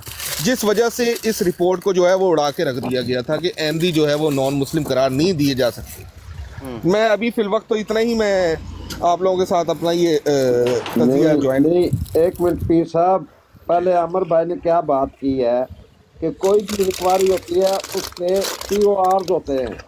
जिसको बोलते हैं टर्म्स ऑफ़ रेफरेंस आमिर भाई ने ये कहा था जी को उसने कहा था मेरी जुरिस्डिक्शन नहीं है। मगर उसको टर्म्स ऑफ़ रेफरेंस बोलते हैं।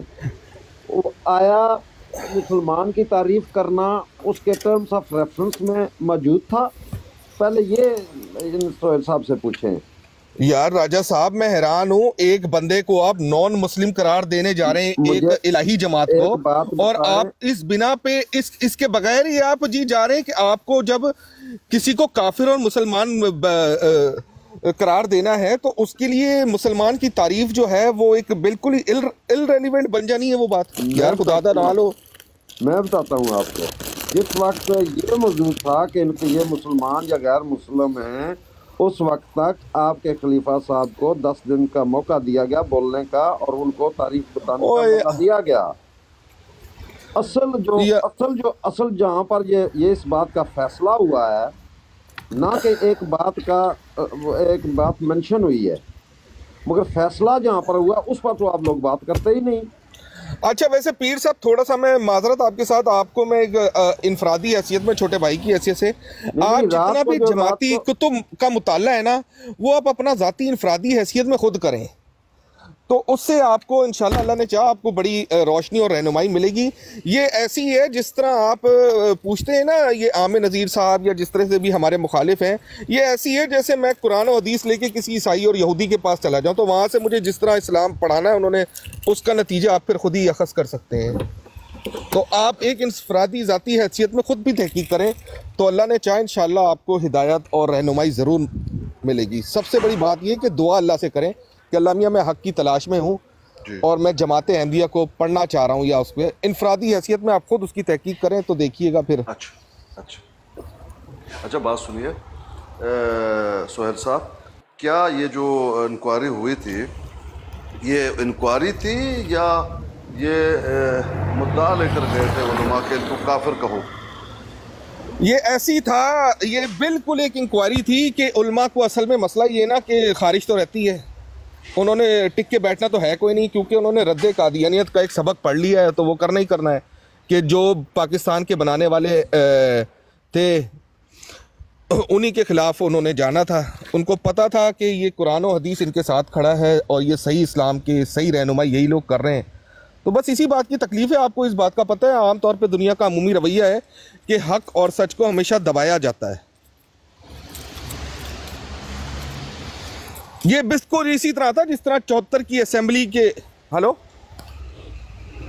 आप जवाब नहीं दे रहे मेरे भैया आप इधर उधर क्या आपने बातें सवाल कर रहे किया? बातें कर रहे भाई देख लें मैंने सवाल क्या किया। सवाल ये था आपने यही ये जो सुन लीजिए मेरी आवाज़ आ रही है आप तक मैं अपना जाती हैसियत में कह रहा हूँ ये इसी तरह था कि ये रेप्लिका था चौहत्तर की मेरा का। मेरा मेरे मेरी आवाज़ आ रही है? हाँ जी हाँ जी आ रही है।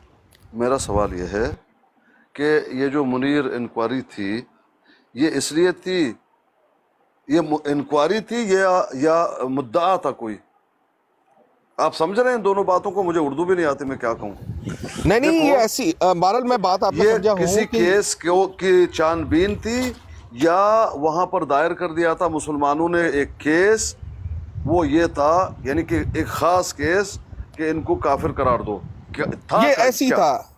ये ऐसी ही था? रेप्लिका ऐसे कैसी? ऐसी कैसी? ये मुसलमान फिर चले गए थे ना असेंबली में कि हमने काफिर करार देना है। हाँ ये कोई और मुसलमानों नहीं थी दंगा फसाद की?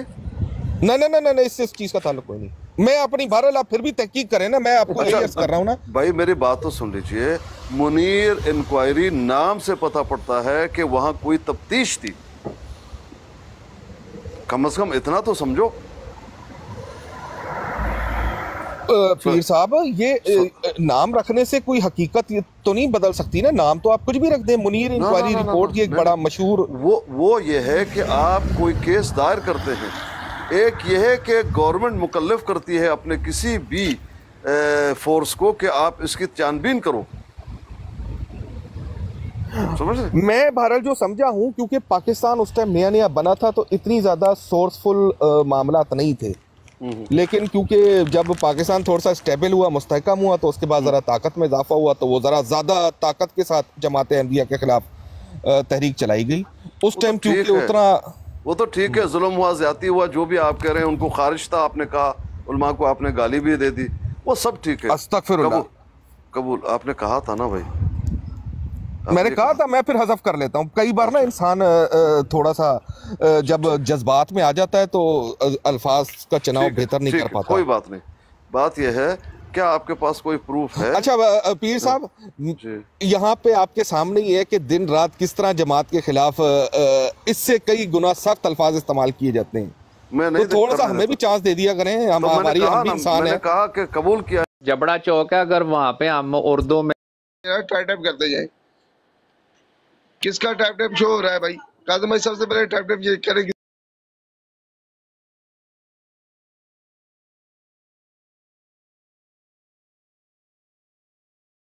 हुआ निकाला था थोड़ा सा सुना था डिबेट्स वगैरह या इसके हवाले से जो मैंने पढ़ा है अ, सोशल मीडिया पे वो मैंने आपके सामने अर्ज़ रख दिया है। लेकिन इसमें सबसे बड़ा गोल्डन वर्ड जो जज का है ना हाँ। वो आप दें कि जज ने बड़ा ज़बरदस्त रिमार्क दिया था कि जब मुसलमानों ने ये कहा ना कि आप हमें कुछ मोहलत दे दें हम इज्तमाही इकट्ठी तारीफ़ आपके सामने बना के पेश करते हैं। तो जज ने कहा था कि जी मोहलत अब आपको नहीं मिल सकती चौदह साल की मोहलत बहुत होती है। हम्म, हम्म, ये एक उसमें बड़ा इस तरह के अल्फाज के प्रूफ आपके पास है? हाँ हाँ ये इंक्वायरी रिपोर्ट के अंदर आपको मिलेंगे ना जिस तरह ये चौहत्तर की है असेंबली ये तो अ, हर जगह आपको नज़र आ जानी है। इंटरनेट पे बड़ी आसानी से मिल जानी है ये चीज़। आप उसको अ, पेश कर, पक, कर कर सकेंगे? हाँ जी बिल्कुल पेश कर सकेंगे। आप मुझे दे दिए या दे दीजिए प्लीज़ हाँ? ठीक है ठीक है ठीक है मैं कुछ कोशिश करके दे दीजिए। इस पे मैं जो है वो फया, फयाज वैसे मुझसे भागते हैं मजीद भागेंगे। जी वकील साहब।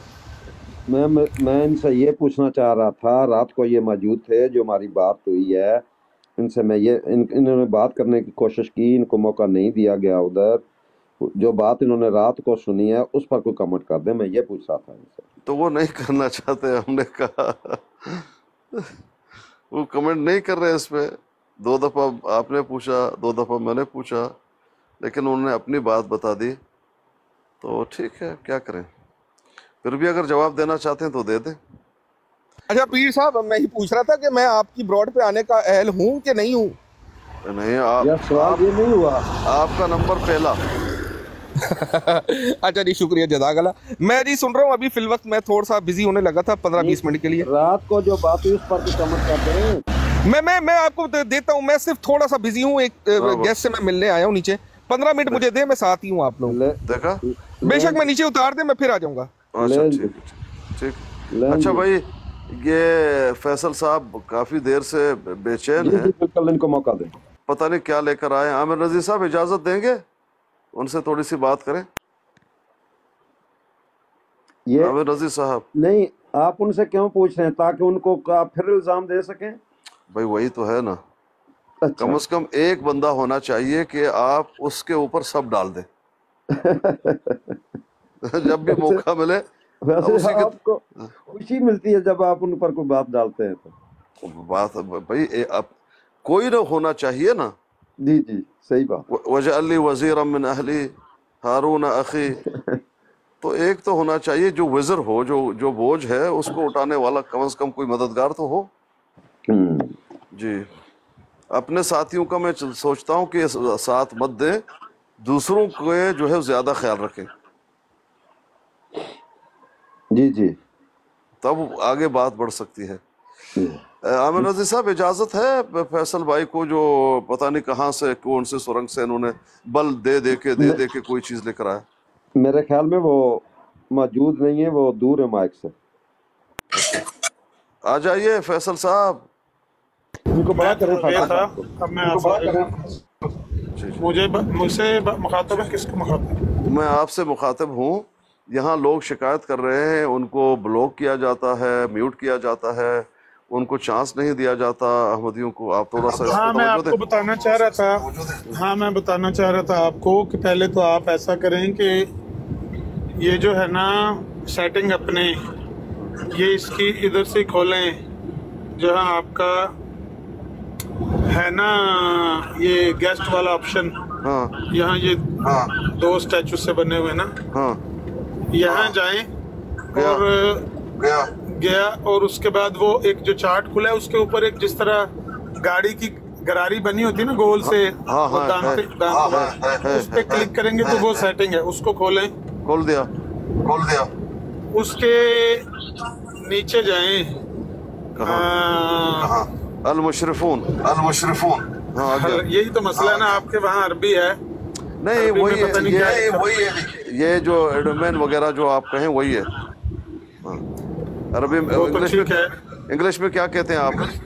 जनरेटर इंग्लिश जनरेटर इसमें जिल्ली बुरूजी जनरेटर नहीं नहीं हाँ। नहीं नहीं। आप क्यों अकाउंट क्यों गलत बात करते हैं? जनरेटर जी। अकाउंट्स अकाउंट्स को देखना है जो अकाउंट्स है ना आपके हाँ। उसमें जाके आपने देखना है कि जो ब्लॉक्ड यूज़र्स है ना ब्लॉक्ड नंबर जिनको आपने ब्लॉक किया हुआ उनकी एक लिस्ट आपको नज़र आएगी। म्यूट वालों की भी और ब्लॉक वालों को भी।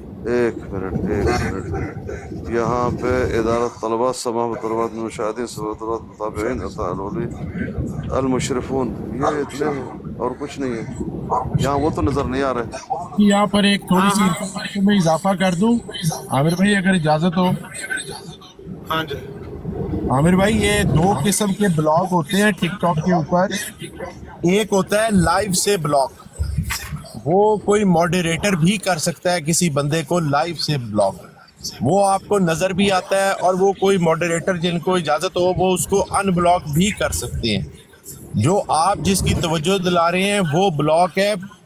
अपना किसी किस्म का मैसेज भी ना उसको जाए, ना हमारी उसको लाइव नज़र आए, ना हमारी उसको कोई वीडियो नज़र आए। वो वाला ब्लॉक वो अकाउंट की सेटिंग से जाके ब्लॉक मेंबर से रिमूव होता है। लेकिन ये जो दोस्त, जो पीर साहब से गिले कर रहे हैं ना, ये उस ब्लॉक मेंबर लिस्ट में इसलिए नहीं है कि ये अगर वो ब्लॉक मेंबर लिस्ट में हो तो वो इस लाइफ पर आ ही ना सके बेचारे। ये वो लोग हैं जिनके बेसिकली कमेंट्स वगैरह म्यूट कर दिए गए थे, वगैरह इस तरह की फॉर इंटायर लाइफ इन चीज़ों का वो आके गिला कर रहे हैं, जिसको वो कह रहे हैं कि हमें ब्लॉक कर दिया जाता है। शुक्रिया। फिर भी उनको चेक कर लेने दें कि ब्लॉक लिस्ट जो है उसमें कितने बंदे हैं। ब्लॉक लिस्ट और म्यूट लिस्ट म्यूट ब्लॉक है वो जिसको कमेंट करने से म्यूट किया जाता हाँ। लेकिन ब्लैक लिस्ट आए तब ना? ब्लॉक मेरे हाँ वही मैं कह रहा हूँ ना कि इसी में आपने नीचे जाके ब्लॉक लिस्ट निकाल लेनी। ये गरारी को मैंने ये कर दिया तो यहाँ पर ये कौन से साइज़ का आपको ये स्क्रीन चाहिए ये आ रहा है? उसके बाद सूर अल खल्फिया, ये आ रहा है। पीछे अगर मुझे कुछ यहाँ आपको दिखाना ये आ रहा है। असमाह बतलबात मिनल मुशाहिदीन, यानी लोग आपको देख सकें, ये ओपन है। असमा बतलबात मिल मुताबिन फ़कत ये बंद है। ताल तलबात मुकदमे ये भी बंद है। तो ये तो कुछ भी नहीं। आगे आया ये जनरेटरों का।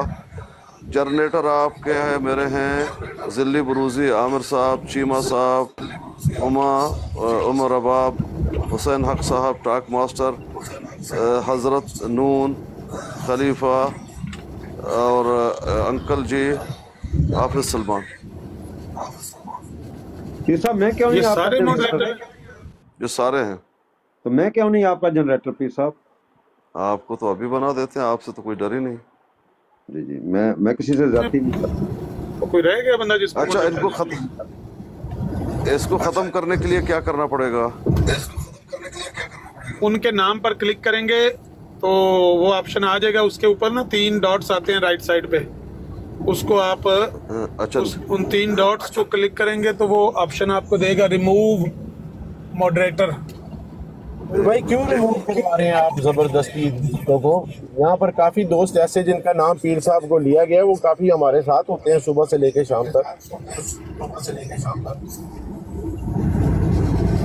पता नहीं कितने बंदे उन्होंने मॉडरेटर बनाए हुए हैं मेरा ख्याल है कोई दो दर्जन मॉडरेटर जनरेटर जी क्यों? भाई जो नाम लिए उन्होंने आमिर भाई जिसके अंदर से हाफिज सलमान साहब को तो बिल्कुल रिमूव नहीं करेंगे कोई भी आपसे मेरी दरखास्त है। ना उनका कोई जुर्म है ना वो किसी को कुछ करते हैं। उनका जुर्म सिर्फ़ ये है कि वो कॉले लोगों की सब कर लेते हैं और वो भी पीर साहब की इजाज़त से ही करते हैं। जिसको पीर साहब कहें नहीं करनी वो नहीं करते। उनको प्लीज़ ना रिमूव करवाएँ। वो तो होगा ही नहीं। वो तो होगा नहीं होंगे बाकी। मेरा अंकल मेरा अंकल हाँ मेरा अंकल के पास भी बेचारे के नहीं है पावर अंकल के पास पावर नहीं है। अच्छा नून जी को देख लेते हैं। नहीं लेकिन ये। बाद में नीचे मैसेज तो म्यूट कर लेते हैं ना। मैसेज तो नीचे से म्यूट कर देते हैं ना पीर असकानी भाई। नहीं वो भी बंद कर रहा हूँ ना वो कैसे करेंगे? वो बंद कर रहा हूँ सबको हटा दें मॉडरेटर की ज़रूरत ही नहीं है ना। छत्तीस मॉडरेटर आपने क्या करने दो तीन मॉडरेटर रख लें बाकी सबको हटा दें। अच्छा? आपकी बात मानना इतना ज़रूरी नहीं है लेकिन मोहब्बत को क्या कहें? नहीं, जो पूछेगा ना इनसे कि क्यों मुझे हटाया तो ये बोलेंगे अमर वजह भी तो हो ना आमिर भाई को वजह भी तो हो जो आप ज़बरदस्ती उनसे हटवाई जा रहे हैं जिसको उन्होंने रखा हुआ है रखा रहने दें। आप अपनी लाइफ के ऊपर ज़रूर जिसको आपका दिल करे रखें जिसका ना करे। लेकिन पीर साहब को तो आप ये ना कहें ना रखो। मेरी मर्ज़ी मैं किसी का नहीं कह रहा भी उसको हटा दो और उसको रख लो मैं कह रहा हूँ कि ज़्यादा मॉडरेटर रखने की ज़रूरत नहीं है जिनको आप हटाना चाहते हैं मेंबर जो है ना जिनके लिए हमने उनकी मदद करनी है वो अगर आप रिमूव करा सकते हैं तो वो करें नहीं तो खाकसार को मौका दें। खाकसार कौन है? क्या करें? सूरतुल मेहंदी पढ़ के सुनाएँगे। खाकसार कौन है भाई? एक मिनट मुझे करने दो। यहाँ पर मॉडरेटर रिमूव कराने नहीं आए हम ब्लॉक मेंबर रिमूव करा रहे हैं उनकी उनकी मदद करें आप प्लीज़ एक मिनट भाईजान प्लीज़ आप जज्बाते ना हो ना। जज्बाती क्यों होते हैं? पहले मॉडरेटर हटाएँ उसके बाद ब्लॉक्ड में जो मेंबर्स हैं ब्लॉक्ड मेंबर्स मैंने इनको हटा दिया। चेक करें लिस्ट हटा दिया।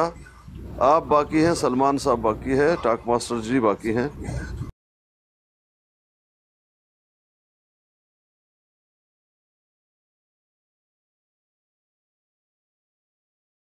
बाकी के पास वो तो मैंने बंद कर दिया ना। वो तो बंद कर दिया मैंने। ठीक है आप वो, वो नीचे इसके साथ ही नीचे ना दूसरी ऑप्शन जहाँ से मॉडरेटर लिस्ट निकाली है ना हाँ। इसके साथ ही दूसरी लिस्ट होगी ब्लॉक्ड यूज़र या ब्लॉक्ड मेंबर्स कुछ लिखा होगा इसी तरह का। ब्लॉक अरबी में पता नहीं क्या लिखा होगा। नहीं है नहीं है। ऐसा कुछ भी नहीं है। मोहतरम। करके नीचे मोहतरम आपको तीन डॉट नज़र आ रहे हैं दाएँ हाथ साइड के ऊपर। जहाँ से आप जाके अपना म्यूट करते हैं। तीन डॉट ये इधर सामने नज़र आ रहे हैं। जी उस्ताद मोहतरम यहाँ पर आप जाइए। गया यहाँ पर खोले जिधर से देखें आप जाके अपना माइक म्यूट करते हैं ना इसके नीचे ब्लॉक मेंबर या ब्लॉक उसका कोई आता है। ना सर नहीं ऐसा कुछ भी नहीं है। इधर कुछ भी ऐसा नहीं आया। जरा देख तो लो इसको खोल के। नहीं ऐसा नहीं है इधर कुछ भी। तो थोड़ा सा स्क्रॉल करें पीर साहब उसके नीचे और मजीद ऑप्शन भी हैं म्यूट के बाद और ऑप्शन भी हैं वहाँ पर तीन डॉट्स नहीं है ये भी नहीं है।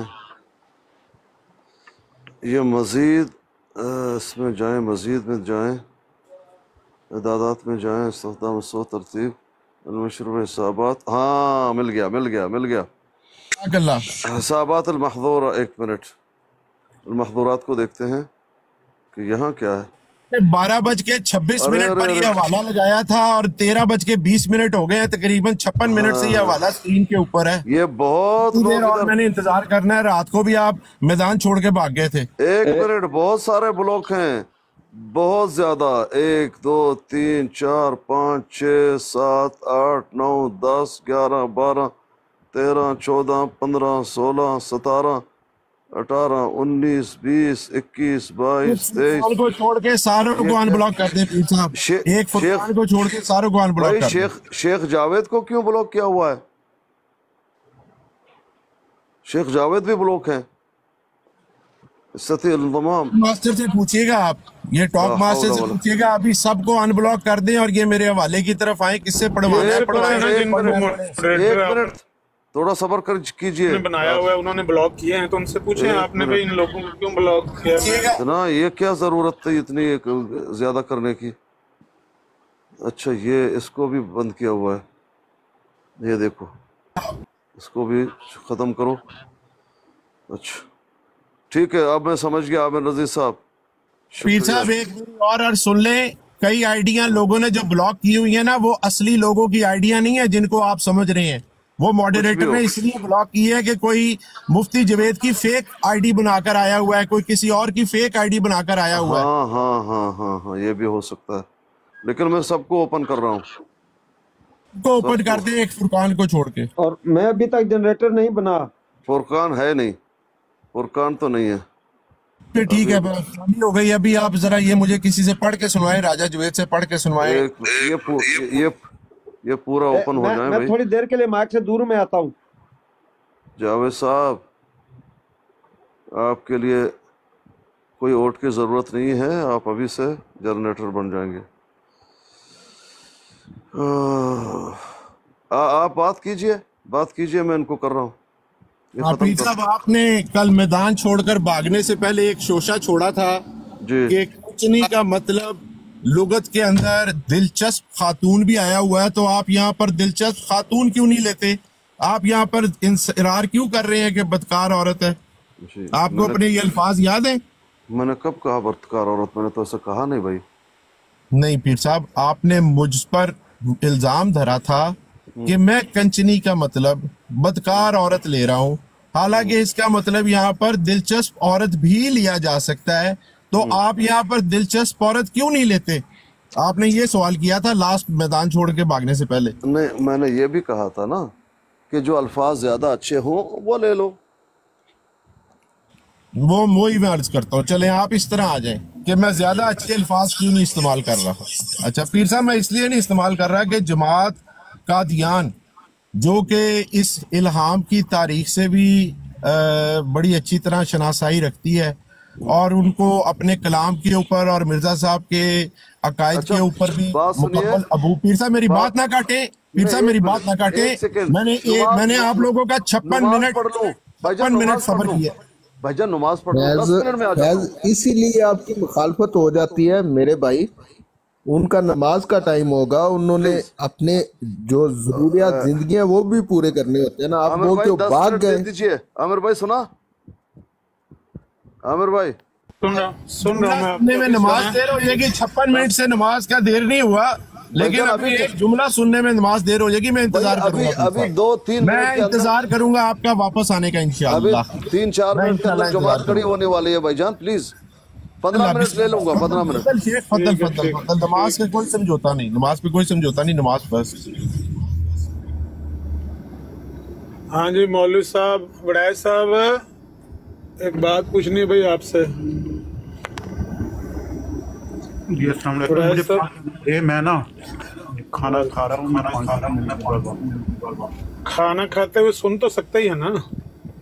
टाइम मिल जाता है बंदे को सोच कर जवाब देने का। आप ये कहें कि मैं सुन रहा हूँ मैं यहाँ सवाल दोहरा देता हूँ। आप आराम से सुनकर जवाब दे दें। बल्कि पूछ कर किसी से जवाब दे दें।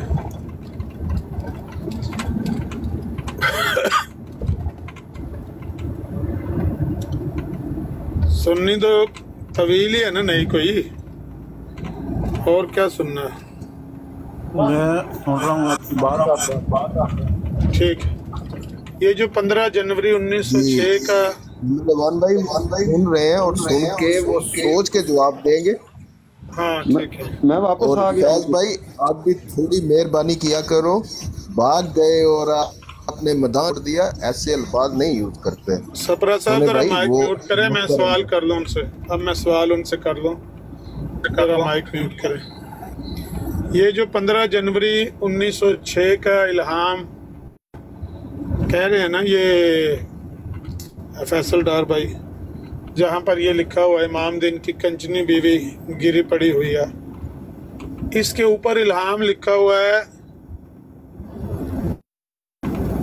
कि हम मक्का में मरेंगे या मदीना में मरेंगे। वो तशरी है उन अल्फाज की कि बेशक हम और हमारे रसूल ही गालब रहेंगे, मैं और मेरे रसूल ही गालब रहेंगे। उस शायद की इल्हाम की उन्होंने नीचे वजाहत बयान की हुई है।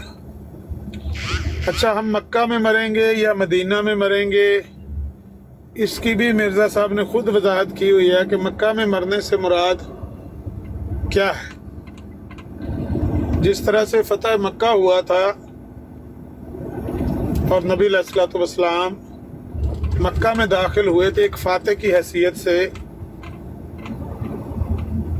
तो सारे जो मुशरकिन मक्का थे या अहालिया ने मक्का थे, वो सारे सर झुकाए खड़े थे। उनका सारा गरूर, सारा फखर, सारा तकबर उनका, वो नबी इस्लाम के कदमों में पड़ा हुआ था। कोई बोला नहीं है। अक्ष छुपाया नहीं रड़ गया जिस तरह कहते हैं ना तो जो मंजर फतेह मक्का वाले दिन था, मिर्ज़ा साहब ने कहा कि हम मक्का में मरेंगे, इसका मतलब ये है कि या तो कह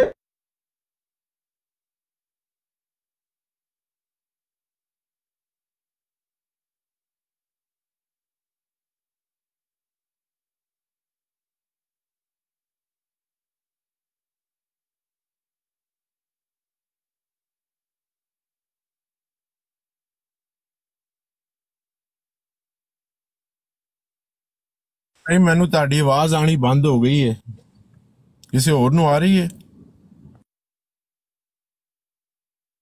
उनके सिग्नल डाउन हो जाते हैं कई बार वो ड्राइविंग कर रहे साहब होते हैं ना जो आमिर भाई तहरीर बता रहे हैं ना इलाम जरा सुन लें वो फरमा रहे हैं आमिर भाई कि खुदाए रहीम कहता है कि सलामती यानी गायब व खासर की तरह तेरी मौत नहीं होगी और ये कलमा कि हम मक्का में मरेंगे या मदीना में मरेंगे इसके मानी ये है कि कबलज मौत मक्की फतह नसीब होगी, जैसा कि वहाँ दुश्मनों को कहर के साथ मगलूब किया गया था, इसी तरह दुश्मन कहरी निशानों से मगलूब किए जाएँगे। और दूसरा हिस्सा यह है कि कबलज मौत मतनी फतह नसीब होगी, खुद ब खुद लोग दिल की तरफ़ माइल हो जाएँगे। फिक्रा, कतबुल्लाह अगले बन्ना अना व रसूली, मक्के की तरफ़ इशारा करता है। और फिक्रा सलामन कौलन मिन रब रहीम मदीने की तरफ़। ये आमिर भाई बता रहे हैं।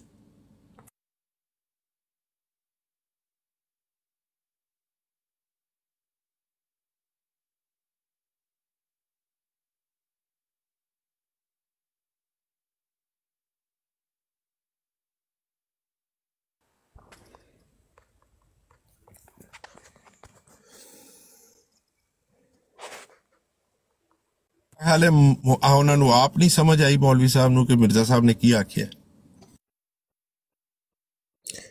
ਨਹੀਂ, ਜਿਹੜੀ ਗੱਲ ਦੀ ਤੁਸੀਂ ਤਸ਼ਰੀਹ ਕਰਦੇ ਹੋ, ਤਸ਼ਰੀਹ ਕਰਦੇ ਹੋ ਪੈ ਇੰਜ ਕਿ ਇਹ ਕਬਜ਼ਾ ਗਰੁੱਪ ਤੇ ਨਹੀਂ ਅਸੀਂ ਚੱਲਣ ਦਿੰਦੇ। ਠੀਕ ਹੈ, ਨਬੀ ਪਾਕ ਸੱਲਮ ਦਾ ਸ਼ਹਿਰ ਜਿਹੜਾ, ਉਹ ਤੇ ਸਾਨੂੰ, ਸਾਡੀ ਜਾਨ ਤੋਂ ਵੀ ਪਿਆਰਾ ਤੇ ਕੋਈ ਆਦੇ ਕਿ ਮੇਰਾ ਸ਼ਹਿਰ ਹੈ, ਨਹੀਂ ਇੰਜ ਨਹੀਂ ਹੋ ਸਕਦਾ। ਲਿਹਾਜ਼ਾ ਇਹ ਕਿ ਮੌਲਵੀ ਸਾਹਿਬ ਪਤਾ ਕੀ ਅਸੀਂ ਕਈ ਵਾਰੀ ਨਾ ਗਲਤੀ ਕਰ ਜੰਨੇ ਆਪੇ ਤੇ ਇਹ ਫਿਰ ਨਾ ਖਿੱਚ ਲੈਂਦੇ ਨੇ ਫੜ ਕਿ ਯਾਰ ਇਹ ਗੱਲ ਤੁਸੀਂ ਕਿਉਂ ਕੀਤੀ, ਇਹ ਗੱਲ ਕਿਉਂ ਕੀਤੀ? ਇਸ ਵਾਸਤੇ ਇੱਜ਼ਤ ਜਿਹੜੀ ਹੈ, ਉਹ ਹਰ ਬੰਦੇ ਨੂੰ ਹੁਣੇ ਇੱਕ ਬੱਚਾ ਸਾਈਆਂ 'ਚ ਪੈਦਾ ਹੋ ਜਾਂਦਾ। ਉਹਦਾ ਗੁਨਾਹ ਤੇ ਕੋਈ ਨਹੀਂ ਵਿਚਾਰੇ ਦਾ। ਹਾਂ ਜੇ, ਅੱਗੋਂ ਸਿੱਖ ਨਹੀਂ, ਉਹ ਆਪਣੇ ਰਾਹ ਨੂੰ ਸਿੱਧਾ ਨਹੀਂ ਕਰਦਾ, ਫਿਰ ਉਹਦਾ ਗੁਨਾਹ ਹੈ। ਠੀਕ ਹੈ? ਲਾਜ਼ਾ ਇਸ ਵਾਸਤੇ ਜਦੋਂ ਵੀ ਅਸੀਂ ਗੱਲ ਕਰੀਏ ਨਾ, ਸਾਰੇ ਵੀਰ ਬੈਠੇ ਹੁੰਨੇ ਆ, ਅੱਲਾ ਦਾ ਸ਼ੁਕਰ ਹੈ ਕਿ ਯਾਰ ਹਰ ਬੰਦੇ ਨੂੰ ਵੇਖੋ ਨਾ ਕਿ ਤੁਸੀਂ ਆ ਜਿਹੜੇ ਲਵਾਜ਼ਮਾਤ ਨੇ, ਇਹਨਾਂ ਤੇ ਟੁੱਟ ਜਾਓ ਕਿ ਹਰ ਬੰਦੇ ਨੂੰ ਅੱਲਾ ਤੌਫੀਕ ਨਹੀਂ ਦਿੰਦਾ। ਹੁਣ ਕਿੰਨਿਆਂ ਬੰਦਿਆਂ ਕੋਲ ਮੋਬਾਈਲ ਹੀ ਨਹੀਂ, ਕਈਆਂ ਬੰਦਿਆਂ ਨੂੰ ਮੋਬਾਈਲ ਯੂਜ਼ ਕਰਨਾ ਹੀ ਨਹੀਂ ਆਉਂਦਾ ਜੇ ਅਸੀਂ ਟਿਕਟੋਕ ਤੇ ਆ ਜਾਂਦੇ ਆ ਤੇ ਅਸੀਂ ਮੁਸਲਮਾਨ ਹੋਣ ਦਾ ਆਪਣਾ ਅਕੀਦਾ ਜਿਹੜਾ ਉਹਨੂੰ ਅੱਛੇ ਤਰੀਕੇ, ਐਸਨ ਤਰੀਕੇ ਨਾਲ ਜਿਹੜਾ ਨਾ ਉਹ ਪੇਸ਼ ਕਰੀਏ ਕਰੀਏ। ਨਾ ਕਿ ਅਸੀਂ ਲੜਾਈਆਂ ਲੱਥੇ ਹੁੰਨੇ ਆ। ਨਾ ਹੀ ਅੱਲਾ ਮਾਫ ਕਰੇ ਕਿ ਸਾਡਾ ਦਿਲ ਇਸ ਗੱਲ ਦੀ ਇਜਾਜ਼ਤ ਦਿੰਦਾ ਨਾ ਹੀ ਸਾਡੇ ਨਬੀ ਪਾਕ ਸੱਲੱਲਾਹੁ ਨੇ ਸਾਨੂੰ ਇਹਦਾ ਕੁਝ ਸਿਖਾਇਆ ਬੜੀ ਵੱਡੀ ਮਿਸਾਲ ਹੈ ਇੱਥੇ ਬੈਲਜੀਅਮ ਵਿੱਚ ਇੱਕ ਵਾਕਿਆ ਹੋਇਆ ਸੀ ਕਿ ਅੱਲਾ ਮਾਫ ਕਰੇ ਕਿ ਇੱਕ ਬੜਾ ਪਿਆਰਾ ਦੋਸਤ ਹੈ ਉਹਨੇ ਅਦਾਲਤ ਕੋਲੋਂ ਕੇਸ ਪਵਾ ਲਿਆ ਸੀ। ਉਹਨੇ ਆਖਿਆ ਸੀ ਕਿ ਜਿਵੇਂ ਸਾਡੇ ਕੁਰਾਨ ਦੀ ਬੇਰਹਿਮਤੀ ਕੀਤੀ ਗਈ ਹੈ ਮੈਂ ਦੂਜੀਆਂ ਕਿਤਾਬਾਂ ਦੀ ਵੀ ਕਰਨੀ ਹੈ ਬਾਕੀ ਐਟ ਅ ਪੁਆਇੰਟ ਉਹਨੇ ਆਖਿਆ ਸੀ, ਮੈਨੂੰ, ਮੇਰਾ ਮਜ਼ਹਬ ਇਜਾਜ਼ਤ ਨਹੀਂ ਦਿੰਦਾ। ਲਿਹਾਜ਼ਾ ਸਾਨੂੰ ਤਕਲੀਫ ਨਾ ਪਹੁੰਚਾਓ। ਦਰਾਮ ਕਰਨਾ ਹਰ ਇੱਕ ਦਾ। ਅੱਲਾ ਖੈਰ ਕਰੇਗਾ, ਇਨਸ਼ਾਅੱਲਾ ਬਫਜ਼ਲੇ ਰੱਬ। ਮੇਰੇ ਜਿਹਾ 25 ਸਾਲ ਯੂਰਪ ਵਿੱਚ ਮੈਂ ਕੱਢੇ, ਸਿਰਫ ਕਾਰੋਬਾਰ ਕੀਤਾ ਬਿਜ਼ਨਸ ਕੀਤਾ। ਮੇਰੇ ਜੇ ਬੰਦੇ ਨੂੰ ਜੇ ਅੱਲਾ ਹਦਾਇਤ ਦੇ ਸਕਦਾ ਨਾ, ਤੇ ਸਾਰਿਆਂ ਨੂੰ ਆਏਗੀ ਅੱਲਾ ਦੇ ਫਜ਼ਲ ਨਾਲ ਇੱਕ ਦਿਨ। ਬਾਕੀ ਇਹਦੇ ਵਿੱਚ ਕੋਈ ਮਰਜ਼ਈਆਂ ਦਾ ਕੋਈ ਹੱਕ ਦਖਲ ਨਹੀਂ ਹੈ, ਕੋਈ ਨਹੀਂ। ਇਹ ਤੇ ਗੁੰਮਰਾਹ ਕਰਨ ਨੂੰ ਲਗੇ ਫਿਰਦੇ ਨੇ ਲੋਕਾਂ ਨੂੰ। ਮੈਂ ਮਰਜ਼ਈਆਂ ਦੀ ਸਾਈਡ ਤੇ ਗੱਲ ਨਹੀਂ ਕਰਦਾ ਪਿਆ, ਨਾ ਹੀ ਉਹਨਾਂ ਦੇ ਖਿਲਾਫ। ਸਿਰਫ ਇੰਨਾ ਇੰਨਾ ਸਮਝਾਉਣਾ ਚਾਹਨਾ ਜਿਹੜਾ ਵੀ ਮੇਰਾ ਭਰਾ ਆਵੇ, ਆ ਕੇ ਗੱਲ ਕਰੇ ਬੜੇ ਪਿਆਰ ਨਾਲ। ਇਹਨਾਂ ਨੂੰ ਸਮਝਾਉਣ ਦੀ ਕੋਸ਼ਿਸ਼ ਕਰੇ। ਜੇ ਨਾ ਇਹਨਾਂ ਦੀ ਸਮਝ ਚ ਆਏਗੀ ਨਾ ਹੁਣ ਮੌਲਵੀ ਸਾਹਿਬ ਅੱਗੇ ਤੁਸੀਂ ਸਵਾਲ ਰੱਖਿਆ, ਉਹਨੇ ਅਮਰ ਨਜ਼ੀਰ ਵੀਰ ਨੇ ਰੱਖਿਆ ਕਿ ਸੋਚ ਕੇ, ਸਮਝ ਕੇ ਜਾਂ ਕਿਸੇ ਕੋਲੋਂ ਪੁੱਛ ਕੇ ਦੱਸ ਦਿਆ ਜੇ। ਜਨਾਬ, ਇਹ ਕੋਈ ਵੀ ਅਸੀਂ ਆਪਣੇ ਦਿਲ 'ਚ ਜਾਂ ਆਪਣੇ ਦਿਮਾਗ 'ਚ ਇਹ ਗੱਲ ਕਦੀ ਵੀ ਨਹੀਂ ਰੱਖ ਸਕਦੇ ਕਿ ਜੇ ਆਖੋ ਗੱਲ ਮੈਂ ਗੱਲ ਸਿੱਧੀ ਤੇ ਖੁੱਲੀ ਜਟਕਾ ਬੰਦਾ, ਜੱਟੀ ਜੀ ਜਟਕੀ ਜੀ ਗੱਲ ਕਰਨਾ ਮੇਰਾ ਭਰਾ ਅਮਰ ਨਜ਼ੀਰ ਮੌਲਵੀ ਸਾਹਿਬ ਵੀ ਤੁਹਾਨੂੰ ਜਵਾਬ ਦੇਣਗੇ, ਫੈਜ਼ ਵੀਰਾ ਵੀ ਦੇਗਾ ਰਾਜਾ ਜਵੇਦ ਵੀ ਦੇਗਾ ਤਾਰਕ ਚੌਹਾਨ ਵੀ ਦੇਗਾ ਪੀਰ ਸਾਹਿਬ ਕੋਲੋਂ ਵੀ ਪੁੱਛ ਲਿਆ ਜੇ। ਕਿ ਮੇਰਾ ਵੀਰ ਜੋ ਹੋ ਚੁੱਕਿਆ, ਉਹ ਹੋ ਚੁੱਕਿਆ। ਜੇ ਤੁਸੀਂ ਆਖੋ ਨਾ ਕਿ ਅਸੀਂ ਇਹ ਆਨੇ ਆ ਕਿ ਜਦੋਂ ਮੁਸਲਮਾਨਾਂ ਦੇ ਹਾਲਾਤ ਖਰਾਬ ਹੋ ਜਾਣਗੇ, ਉਦੋਂ ਅਸੀਂ ਫਾਤੇ ਹੋ ਜਾਾਂਗੇ ਹੁਣ ਟਾਈਮ ਅੱਗੋਂ ਬਦਲਣਾ ਤੁਸੀਂ ਇਕਨੋਮੀਆਂ ਚੈੱਕ ਕਰ ਲਓ ਤੁਸੀਂ ਮੁਸਲਮਾਨਾਂ ਦੇ ਬਿਹੇਵ ਚੈੱਕ ਕਰ ਲਓ ਇਹ ਇੱਕ ਟਾਈਮ ਵਿੱਚ ਦੋ ਦੋ ਤਿੰਨ ਤਿੰਨ ਕੰਮ ਕਰਦੇ ਨੇ ਬੈ ਹਾਂ ਚੋਰਾਂ ਦੀ ਜਿਹੜੀ ਹੈ ਨਾ ਉਹ ਛੁੱਟੀ ਹੋ ਜਾਣੀ ਹੈ ਜਿਵੇਂ ਕਿ ਮਰਜ਼ਈਆਂ ਦੀ कानी साहब को समझ आ रही है इस पंजाबी की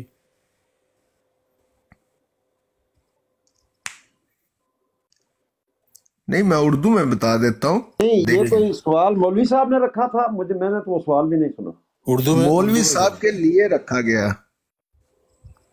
क्या सवाल था? और नजीर साहब तो चले गए हैं। अमन नजीर साहब साहब हैं जो गए हैं तो उन्होंने कहा था कि आप पढ़ लो लिखा हुआ है कि हम वैसे ही वैसे ही फाते होंगे जैसे फतेह मक्का किया किया गया ना। तो वो मेरे फैज भाई ने बता दिया कि आप ऐसा ना कोई भी सोच अपने दिमाग में रखो, क्योंकि अल्लाह ताला फैसले कर ला। और आगे जो फैसला हो रहा है, अब तो चोर अशकार होने हैं, दज्जाल को सजा मिलनी है। आप ऐसी बातें अपने दिल में ना पालो। जी, फैज भाई, आप जरा तशरी कर दें। ये जो आपने हवाला लगाया हुआ है, इस पे तो कुछ और लिखा हुआ है।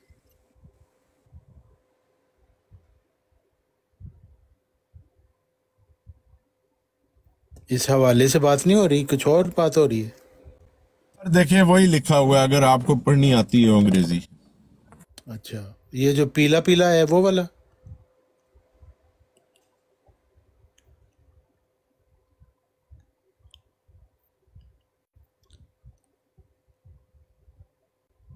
असल बात है कि एक अंग्रेज़ी पढ़नी आती हो दूसरी है कि आँखें भी तेज हों। तो अंग्रेज़ी पढ़नी मुझे आती है लेकिन आँखें मेरी कमज़ोर हैं।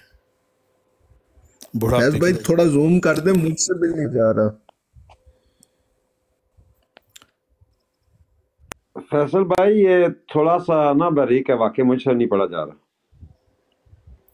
असल बात है कि मिर्ज़ा साहब को ये इल्हामन बताया गया था कि उनका ख़ानदान जो है वो मुलहिद और बेदीन ख़ानदान है।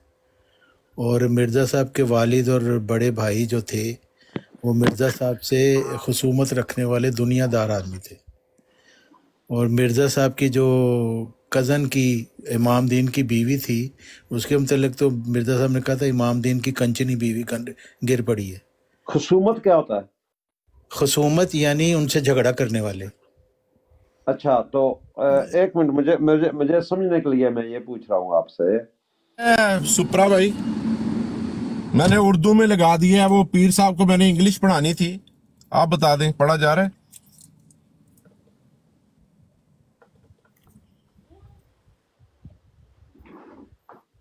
तो अठारह सौ अट्ठानवे इसका मिर्ज़ा साहब करके और इसको जूम करके पढ़ के आपको सुना दूँगा।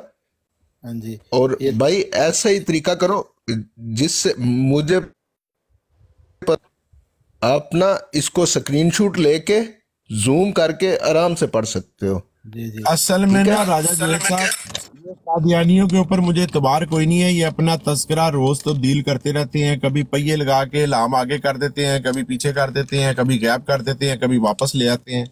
तो मैंने इसीलिए जो ओरिजिनल तस्करा है ना 1935 वाला उसी का स्कैन लगा दिया हुआ है कि इसमें जो ओरिजिनल कापी इलामात से जो डायरेक्ट इलामात कापी हुए हुए हैं इधर वो क्या है? लेकिन वो पीर साहब यहाँ पर कंचनी के लफ्ज का ज़बरदस्ती तर्जमा चेंज कर रहे थे। जो जमात ने खुद लफ्ज कंचनी का तर्जमा अपनी ऑफिशियल तस्करा की ट्रांसलेशन में लिखा है, वो मैंने लगाया हुआ था, राजा साहब, वो मैंने मौलवी साहब से पढ़ाना था, सुहेल नासिर साहब से पढ़ाना था, जिसने पढ़ना पढ़ के बता दे। और फिर इसी इसी कंचनी बीवी जो थी, इसकी जो नवाजी थी, ये मिर्ज़ा ताहिर साहब की बीवी बनी थी फिर। जी जी मालूम है। ये कंचनी क्या है? ये बताए ना। कंचनी तो कहते हैं बुरी औरत को कहते हैं। बाजारी औरत बदकार औरत राजा जुनेद साहब इमाम दीन जो है ना वो 1904 में फौत हो गया था। तो मिर्ज़ा साहब ने उसकी बीवी के ऊपर बदकारी का इल्ज़ाम लगाया है क्योंकि मिर्ज़ा साहब के अपने लोगों के ऊपर इल्ज़ाम लगा था कि मिर्ज़ा साहब की जो छोटी बीवी है वो उनके उनके मुरीदों के साथ अच्छे ताल्लुकात नहीं है। तो मिर्ज़ा साहब ने सुबह उठ के लिख दिया। मिर्ज़ा साहब ने सुबह उठ के लिख दिया कि लोग कहते हैं कि मेरी बीवी के मेरे मुरीदों के साथ ताल्लुकात हैं ठीक है? तो उस रविश की बिना पर क्योंकि लोगों ने मिर्ज़ा साहब की बीवी को बदनाम किया हुआ था मिर्ज़ा साहब की इतनी हिम्मत नहीं हुई कि इमाम दीन की ज़िंदगी में ऐसी कोई बात उसकी बीवी के लिए करें। हालाँकि ये उनकी जो बीवी है इमाम दीन की ये मिर्ज़ा साहब की कज़न भी लगती है। खाली यही नहीं कि भाभी है। अच्छा फिर इन्होंने इस इमाम दीन की पंचमी बीवी के लिए इल्हाम झूठा गढ़ा कि भाई ये तो इतनी बदकार है कि मुझे इल्हाम से पता लग गया कि ये बदकार औरत है। नहीं इल्हाम नहीं था ख्वाब ख्वाब तो ख्वाबों के अंदर मिर्ज़ा साहब के आधे से ज़्यादा इल्हाम अच्छा ख्वाबों में। ये भी आपकी इतला के लिए अर्ज़ है। मिर्ज़ा साहब के आधे से ज़्यादा एक मिनट फैसल भाई एक मिनट। तारक चौहान साहब जी। तारक चौहान साहब ये मिर्ज़ा साहब ने लिखा हुआ है कि लोगों का ये ख्याल है कि मेरी बीवी के तलकात ऐसे हैं लोगों के साथ? लोग ऐसा कहते हैं। सबने लिखा पढ़ा हुआ है यार पढ़ लो लगाने वाले थे। दिखा देता हूँ आपको वाला इल्ज़ाम लगाने वाले थे इस तरह के लोग जी। मगर मिर्ज़ा साहब ने ये लिखा हुआ है। हाँ जी हाँ जी। जी ठीक है मैंने यही कंफर्म करना चाहा और तो उसके जवाब में उसके जवाब में मिर्ज़ा साहब ने इमाम दीन की बीवी के बारे में काफ़ी कलाम दोनों किया हुआ है। है काफ़ी कलाम किया हुआ है और उस क्योंकि मिर्ज़ा साहब से पूछा गया कि भाई आपको कैसे पता? आपको फिर मिर्ज़ा साहब ने कहा मुझे तो इलामी तौर पे दिखाया गया वो गिच्ची गेड़ी पड़ी हुई है। इसका सारा बैकग्राउंड आपको दिखाएँगे यार फकीर हाँ वो साहब दिखाएँगे तो फिर हम बात करेंगे जब आप पीर साहब को वापस आने से पहले ये कंचनी का जो लफ्ज है कंचनी का जो लफ्ज है ये पीर साहब को अच्छी तरह समझा दें। इसकी ट्रांसलेशन हम प्रोस्टिट्यूट क्यों यूज़ कर रहे हैं वो पीर साहब को दिखा दें। तो फिर इंशाल्लाह उसके बाद उसके गिरे पड़ने होने अच्छा के ऊपर भी सलाम करेंगे। कि वो गिरी पड़ी कंचनी क्या मुराद है? अच्छा उन्होंने अच्छा लिखा हुआ था फैसल क्या मुराद है? भाई। ये नहीं लिखा हुआ। तारिक चौहान एक मिनट मुझे चाहिए। अच्छा फैजल भाई आपको एक हुक्म आया है कि मामू जी को म्यूट कर दो। मेरे भाई मैं आराम से सुनूँगा। बस आप ये बता दो चौधरी अदील वड़ैच साहब आप वो, असगर के बेटे तो नहीं हो? मरजइयों में से।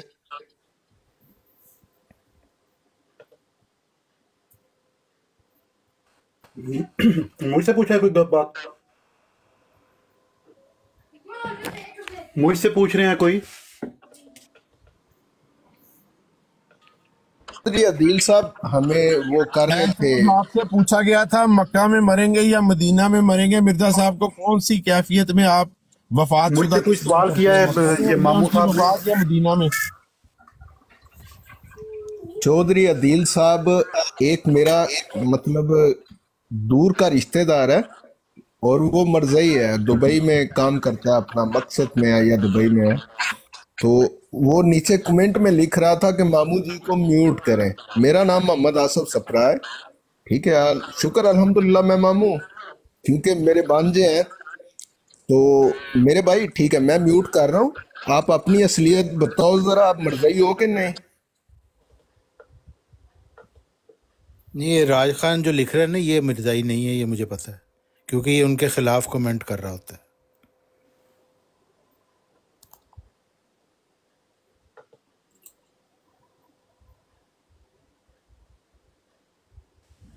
मौली साहेब, आमिर भाई आपसे पूछ रहे थे कि मिर्ज़ा साहब की वफात किस कैफियत में जानते हैं? आप उन्होंने दो कैफियत बयान की हैं, एक मक्की और एक बदनी। आप इसमें से किसको समझते हैं कि मिर्ज़ा साहब की वफात कौन सी कैफियत में हुई है, मक्की में या मदनी में? क्यों एडे परेशान हो यार फैसल साहब? ज़्यादा जोड़े गहरे मिसाइल ना इस वक्त उन्होंने गौर करो। छोटे मोटे मसायल उत्ते ਉੱਤੇ नहीं करनी चाहिए ਚਾਹੀਦੀ ਰਾਜਾ ਸਾਹਿਬ ਤੁਹਾਡੇ ਕੋਲ ਬੈਠੇ ਹੋਣ ਜਦੋਂ ਤੁਸੀਂ ਸੋਚ ਸਮਝ ਕੇ ਨਾ ਮੌਜੂ ਸਟਾਰਟ ਕਰਿਆ ਕਰੋ ਹਾਂ ਕੋਈ ਇਲਮੀ हाँ जी। जी सलाम करें। ये राजा साहब हैं ये वालेकुम सलाम। वालेकुम सलाम मुस्कानी भाई ये फैसल साहब मैं आ गया। आमिर रज़ी साहब कहाँ हैं? वो बरूजी दिल्ली वो चले गए? जी यहाँ मौजूद हैं। पूछ रहे थे मौलवी साहब जवाब नहीं दे रहे थे फिर उन्होंने कहा मैं चला ही जाता हूँ। नाराज़ हो गए? मौलवी साहब जवाब क्यों नहीं दे रहे थे? तो जवाब कोई नहीं देता आप नाराज़ हो नहीं नहीं उनका सिग्नल खत्म हो गया था मेरा ख्याल। अच्छा जी फैसल साहब आप बात कीजिए जरा। जी पीर साहब मैं अर्ज़ करना चाहता था कि कल आपकी मेरी गुफ्तगू चल रही थी लफ्ज कंचनी के ऊपर। और आप इसरार कर रहे थे कि इसका मतलब यहाँ पर दिलचस्प औरत लिया जाए। मैं आपको कह रहा था, यहाँ पर इसका मतलब दिलचस्प औरत इसलिए नहीं लिया जाएगा, क्योंकि इस इलाम का एक बैकग्राउंड है, उसकी एक कैफियत है। मजीद बना, जो जमात का अपना मौकफ है, इस लफ्ज कंचनी के ऊपर वो वो तस्करा जो उन्होंने इल्हाम नहीं है है नहीं है। उसके ख्वाब ये मेरी बात को क्यों कट कर रहे हैं? मुझे दोबारा से टाइम स्टार्ट करने का तो मौका रहे ख्वाब कहें ख्वाब है। साहब मुझे दोबारा टाइम स्टार्ट करने का मौका दिया स्टार्ट स्टार्ट है तुम्हारा टाइम जी बहुत शुक्रिया।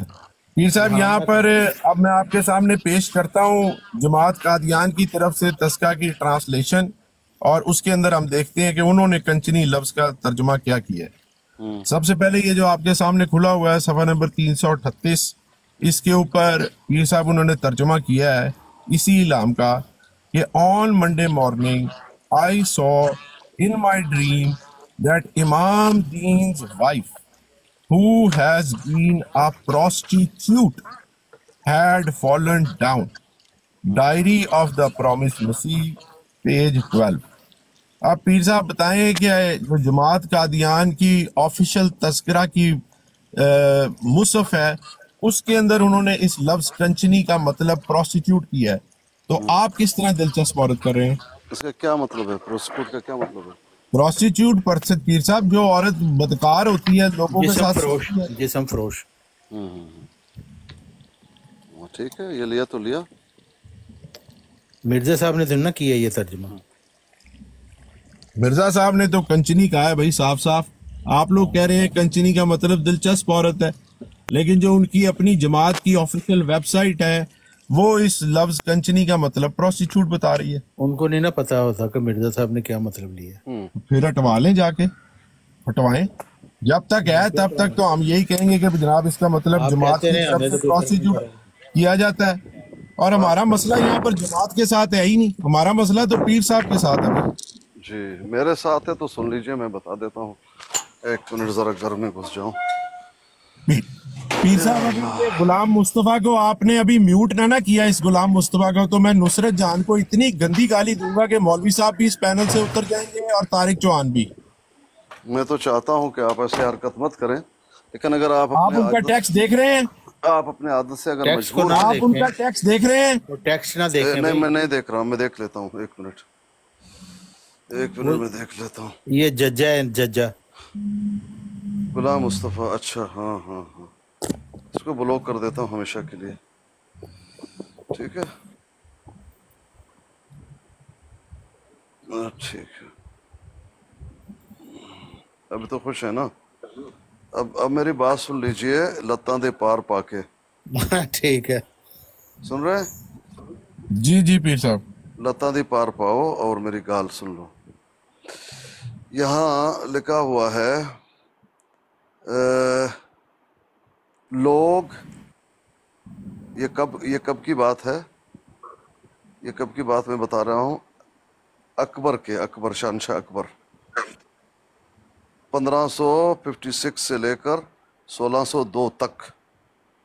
के दौर में साहब कंचनी के लफ्ज का यहाँ पर मतलब उन्होंने क्या किया? मुझे इतना बता दें मेरी नमाज़ का टाइम होने वाला है। दे मेरी नमाज़ का टाइम होने वाला है। जाओ ना फिर जाओ भाई नमाज़ पढ़ लो।